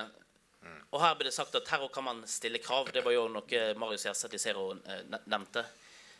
Arild, er det òg bør man bruke altså Nå tildeler man jo veldig masse lisenser på sokkel. Bør man på en måte snike inn krav om utslippsfri eh, logistikktjeneste osv.? Ja, vi har jo lært det fra fergeanbudene at eh, er det noe som virkelig funker, så er det å stille krav. Og det er sånn Jeg er jo for som sagt at vi skal ha høyere priser på drivstoffet. Men de fleste takler liksom to kroner ekstra i avgift. og Da fortsetter de å bruke diesel. Men du takler ikke et krav om at enten leverer du nullutslipp, eller så finner vi noen andre. Så, så det, vi må rett og slett være enda mer kreative og enda mer fremoverlente på å finne ut hvilke typer krav vi kan stille når vi gir lisenser. Og der har vi Jeg tror Marius har rett at vi kan gjøre dette. og Det, det, det bryter ikke med EØS-regelverket, og dette, dette er noe vi kan sette i verk fort som bare juling. Så det håper jeg kommer i planen til Sveinung og co. Kjapt, eh, doktor. eh, Stille krav, bruke offs offshore på en måte, regelverket til å Ja, det er Equinor som sitter på hinsiden, og det er jo statlig. og heldigvis for det. Så vi har mulighet til å stille krav, og bør absolutt gjøre det også. Så um, Fjerning av avgiftsfri diesel, stille krav i lisensene. Dette er spennende takter, Ja. Svein Grotevatn? Ja, jeg tror i hvert fall ikke vi skal stille krav gjennom generalforsamlinga i Equinor. I så fall så skal det være regelverkskrav. Eh, det, men det skriver jo regjeringa i Granavolden-plattformen at dette er noe vi vurderer. Eh, hva krav du kan og bør stille til offshorefartøy. Og det er selvfølgelig også noe en vurderer i denne planen vi jobber med nå. og det som jeg synes var interessant som kom fram her, da, var jo at når en spør eh, de som jobber innenfor de ulike fartøyskategoriene, så er nettopp de som driver med supply eh, innenfor offshorenæringa, ganske optimistiske med tanke på at det var mulig å kutte utslippene så mye som en har forplikta seg til. Så det lover jo godt. Nå har jo så å si alle regjeringspartiene eh, sagt nei til denne arealavgiften for eh, oppdrettsanlegg, eller havbruksnæringen. Det betyr jo at eh, Og det er jo næring som går veldig godt. Er det en næring du kan måte, stille tøffere krav til? Det er òg en konsesjonsnæring. Altså Du kan bruke konsesjonsvirkemidlene til å stille krav om utslippsfrihet når det kommer brønnbåt og alle disse arbeidsbåtene som de tar i bruk. Spør du meg? Ja. Eh, Ja eller nei? ja, ja, det er jo en næring du kan stille krav til, nettopp fordi at det er konsesjoner er involvert. Da, da kan du alltid det. Eh, om du bør gjøre det, er selvfølgelig en av tingene vi også kommer til å se på i denne planen. Jeg tenker at Forskjell på stortingspolitiker og statssekretær det er at, det er at eh, en statssekretær det er en stortingspolitiker med noe talepunkt uten utropstegn. Du er veldig forsiktig, Svein Grotvatn. Jeg er en forsiktig mann. Nei, det er ikke sant. Rødt grunn. Ruth Altså, jeg, jeg kjenner jo havbruksnæringen. eh, Og de har jo litt sånn som skipsfart. De har gått i front. Altså, de har jo egentlig tatt de investeringene. Og brønnbåt det er jo noe av det nyeste som investeres i. Eh, Så det er jo liksom eh, avantgarden. Men det som er spennende innenfor eh, sjøfart, eh, nei, fiskeri, unnskyld, det er jo det at eh, vi kan få en større andel av sjømaten transportert til sjøs. Og Da er det Trøndelagsmiljøet som jobber nå med metoder for hvordan du oppbevarer fisken og klarer å ha den ferskheten. Så den minner litt om salmalaks, som oss som er fra Bømlo. Men sånn, så det er jo stort volum fremover. og den næringen der er helt avhengig av å ha et grønt innpakning. Så de kommer egentlig til å ta det sjøl også. Arild? Altså det er jo, eh, på Vestlandet så sier vi at ingenting har det så travelt som en død laks. Og så bygger vi motorveier eh, og asfalterer fjordene våre for å slippe frem disse døde laksene veldig raskt. Eh, og det er jo en måte som Vi, vi kaster jo da penger til oppdrettsindustrien, offentlige penger. Eh, betydelig antall milliarder kroner. Eh, og det mm, bør vi faktisk slutte å gjøre. Vi bør faktisk finne ut at disse laksene de bør vi kunne klare å frakte på havet. I hvert fall frem til et eller annet sted hvor de kan havne opp på en trailer eller i beste fall på et, et tog. Eh, sånn at de kommer ja, at, at de ikke, vi er nødt til å, å fortsette å bruke så mye penger på altså 340 milliarder det er jo kostnaden til denne fergefri E39, som er en integrert del av denne laksetenkningen. Og 340 milliarder kroner Vi kunne fått ganske store utslippskutt i maritim sektor for de pengene. Altså En veldig konkret sak. Eh, halvering av utslippene. sant? Og så har vi hørt noe om eh, hvor lenge en båt eller fartøy levetiden på den er ganske lang. Så det betyr at når du da kontraherer et nytt fartøy i dag, så betyr det at da er det på en måte skipene som går i trafikk i 2030 du snakker om. Er det rom for offentlig anbud når det kommer til sånn nærskipsfart, hurtigbåter, bilferge, og ikke stille krav om nullutslipp innenfor målet om halvering innen 2030? Ja nei. Sveinung først.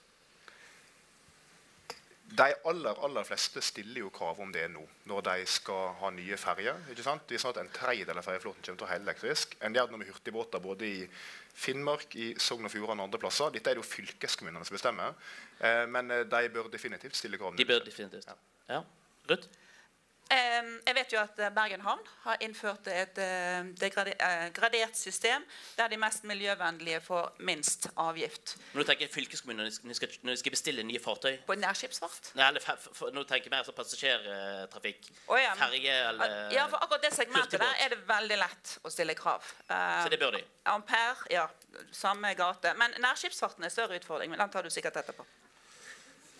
Ja, det bør de. Jeg siterer Edmund Tolo på Fjellstrand verft, eh, som sier at eh, folk er ikke i stand til å se hvor, hvor fort denne teknologien kommer til å bli bra, hvor fort den kommer til å utvikle seg. Og jeg vil også si at vi, eh, vi bør egentlig ikke tillate at man bygger skip som ikke har eh, minst 90% kutt som, som standard. At det må være Vi snur hele prinsippet. Men da er oppfølgingsspørsmålet. For at i, eh, nå i november så skal Sogn og Fjordane det er det første fylket som nå skal lyse ut neste uh, hurtigbåtanbud. Mm. Og de sier at vi er klar. Det vil være teknologiutvikling. altså Vi har jo eksempel ikke hydrogenhurtigbåter. Så det vil være testing hvis det er det som skal være én løsning. Men så sier de at for fylket, med erfaring fra Hordaland når de hadde disse ferjeanbudene, så var det at man får veldig sånn pukkelutgifter de første årene. Som gjør at du kan kanskje klare ett sånt anbud, men det, det er krevende for en fylkeskommune å gjøre det neste. vil stat, og her er, her er jo tidskritisk, for det betyr at hvis det ikke kommer signal i statsbudsjettet eller politiske signal i hele tatt om at her vil staten følge opp For Alternativet for disse fylkeskommunene er jo bare å si at nei, vi, vi bestiller tradisjonelle fartøy. Eh, og så får noen andre heller drive teknologiutviklingen. Bør staten og vil staten stille opp for å dekke disse pukkelutgiftene for fylkeskommunene som stiller tøffe krav, som driver teknologiutviklingen, som tjener hele samfunnet? Vi begynner med Arild. Jeg er jo ikke statssekretær i en regjering som um, syns at dette er vanskelig. eh, Så jeg vil selvfølgelig si ja. Men jeg vil også si at eh, Jeg vil også si at det går an å finansiere det på en måte som vi ikke har snakket om i dag. Og det er at i, i Norge har vi avgiftskrangling to ganger i året. Det er når det kommer statsbudsjettet, og så kommer det revidert statsbudsjett. Da diskuterer man avgiftsendringer. Og så snakker man aldri om skal vi ha en plan for de neste ti årene om hvordan avgiftene skal utvikle seg. Og Hvis vi hadde klart å bli enige om at i løpet av de neste ti årene så skal vi gradvis skru opp prisen på diesel, sånn at, den, sånn at fylkeskommunen det de skal sammenligne med, det er altså et utslipp som de må betale masse for om fem-ti år. Da får de et litt annet regnestykke, og så får vi også mer penger som vi kan, være, vi kan faktisk sette av i fond til å dekke de pukkelutgiftene. Har Ap en modell for dette? Um, ja, jeg kommer jo fra Hordaland fylke, så um, jeg var gruppeleder der. Og var egentlig med også å få Ampere på plass. Uh, det vi har lært, er at kanskje staten skal være flinkere til å bistå kommunene ved å uh, sette, hjelpe dem med anbudene, sånn at det blir standarder og dermed få ned prisen. Nå er det jo hvert fylke har sin beskrivelse av hvordan uh, fartøyene skal se ut. Eh, man må i større grad også legge til rette for utvikling, sånn som vi gjorde med Ampere. Prøve ulike løsninger. Der eh, er også veldig mange fylkeskommuner for dårlig kompetanse på å tenke på hvordan du utvikler eller eh, får på plass sånne utviklingskontrakter. Eh, og det tredje er at det som egentlig var altså Hordaland tok alt under ett. Det smarte hadde vært om du hadde tatt kanskje en tredjedel først, sånn at du fikk utviklingen gradvis, og så oppgradert de som var dårligst. Og da har du klart å få bygget de i Norge. Nå er det jo Tyrkia som stikker av med kompetansen vår. sånn for veldig få bygges i Norge. Så jeg må ikke bare tenke på energibiten, må tenke på sysselsetting, kompetanseutvikling osv. Og, så videre, og det å tenke helhet på den biten der, og lære av det som vi har gjort. Sveinung, eh, du ser utfordringen til fylkene? Ja, jeg, jeg gjør det. Um, så er det selvfølgelig slik at Et fylke vil alltid si at vi trenger mer penger for å ta dette valget. Um, så ser jeg at det er en del som du kaller pukkelutgifter. Uh, og vi har sagt at vi, vi, vi vil vurdere det. Uh, samtidig som jeg må ta et par av motargumenter, for de hører jo med. Uh, for det første er det slik at Vi har lokalt selvstyre i dette landet, også på regionalt nivå. Det er helt fritt fram for et fylke å bruke litt mindre penger på vei og litt mer penger på en miljøvennlig snøggbåt. Kanskje skal det være et valg du kan ta i fylket ditt. Det er ikke sikkert det er så dumt. Og det andre er jo at eh, Dersom du skal drive og hele tida gi mer penger til fylkene fordi noen har gått foran, så vil jo de som har gått foran, egentlig tape. fordi de som ikke har gått foran, vil få de samme pengene.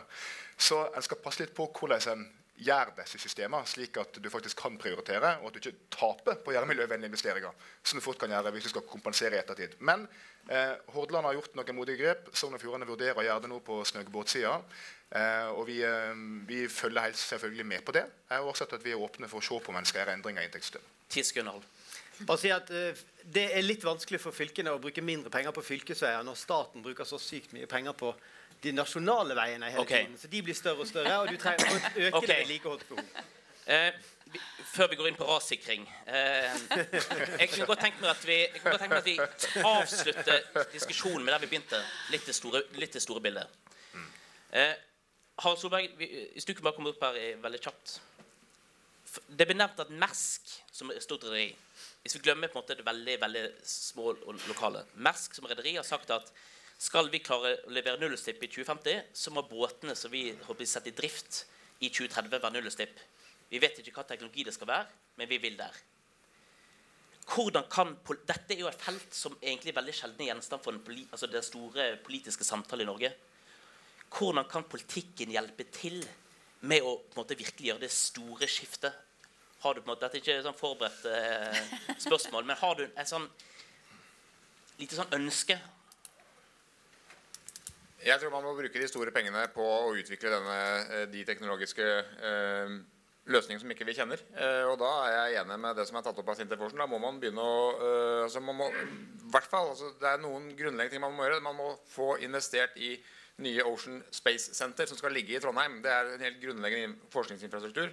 Og så må pengene gå dit. Eh, og da må man kanskje heller ikke bruke så mange milliarder på å bygge fergefri E39, men heller putte dem på denne type eh, forsknings- og utviklingstiltak.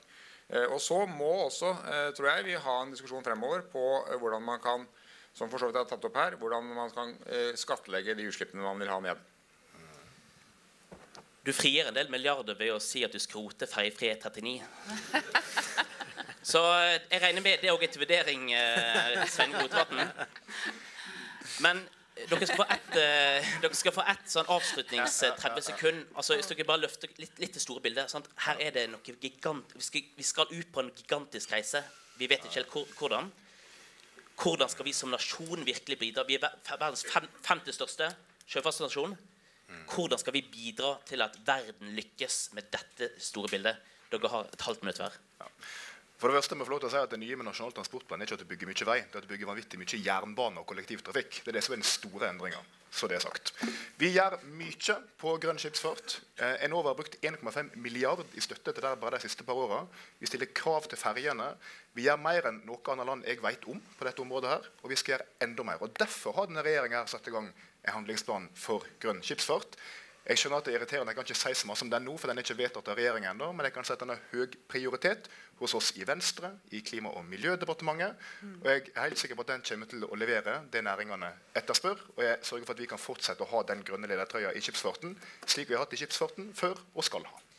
Men bare sånn, til, til, Hvis du glemmer på en måte våre ferger og hurtigbåter sånn, Hvis du tenker på en måte de, sto, de er flere hundre meter lange skipene. Som bruker titalls tonn drivstoff mm. per dag er det nok, altså Vi har regnskogsatsing, vi har en del andre sånn internasjonale satsinger. Kunne det vært noe som har sagt at dette er et grep vi tar for verden? Sier til Mersk at ja, vi, vi skal bidra, løfte disse teknologiene. Ja, altså Regjeringa har ikke gått inn for det. Uh, det er i og for seg første gang jeg hører ideen. Uh, men vi får, vi får, ta den med oss, som det heter. Og så tror jeg at det, det vi gjør av teknologiutvikling i Norge, er veldig viktig. Og det vi gjør av å stille krav i Norge, er veldig viktig. Og ikke minst alt det vi gjør innenfor IMO, som den andre Sveinungen i Klima- og miljødepartementet hadde en god eh, redegjørelse for først i møtet. Takk skal du ha. Rødt Grong, det store bildet. Hvordan kan vi tenke og bidra til å få de store skipene på nullutslipp? Jeg tror det er viktig at det, det, løftes opp nasjonalt, for det var vel egentlig Sveinung fra IMO, IMO Sveinung inne på. Um, at det løftes opp eh, sånn at vi får en forståelse at eh, dette er en av de store næringene vi må satse på når oljen gradvis fases ut. Det er nummer én. Nummer to er, som Harald var inne på, altså det er Nord-Europa mot Asia. Norden samtlige er sjøfartsnasjoner, kunne vi samlet oss og opptredd mer som en blokk. Både hvert laboratorium og gå ut. Eh, næringskomiteen var i Danmark forrige uke. Det var Mersk oppe. På mandag så skal vi til Doff og Grieg. Eh, det er Tenk Norden. Ja, og tenk ja. stort. For ja. det er folk som gjør det stort. Arild, siste ti sekunder. Eh, for det første må vi gjøre alt det Marius Gjerseth sa i innledningen til denne debatten. Eh, og så husker jeg tilbake for ti år siden. Da var Harald sin forgjenger i Rederiforbundet løp rundt med en liten prototyp på noe som het ES eh, e som var en visjon om hvordan man kan reise utslippsfritt over verdenshavene. Og det er jo dit Vi må komme. Vi må begynne å drømme om å bygge de båtene. Og så må vi kanskje òg bruke dette oljefondet, som eier masse transportselskaper, masse store rederier i verden, til å tvinge, være med på investorsiden og tvinge frem disse endringene. Tusen takk alle sammen for dere som kom her i dag. Beklager vi gikk to minutter over skjemaet. Presentasjonene de gjøres tilgjengelig på klimastiftelsen.no i løpet av eh, formiddagen. Eh, og så går det an til å se opptakene her hvis dere lurer på hva den egentlig sa. Og så var det jo en del ting som ligger til vurdering. Og husk, dere hørte det først på denne klimafrokosten. Og takk til Kavlifondet som har finansiert og betalt for den. Vel heim, ha en fin dag.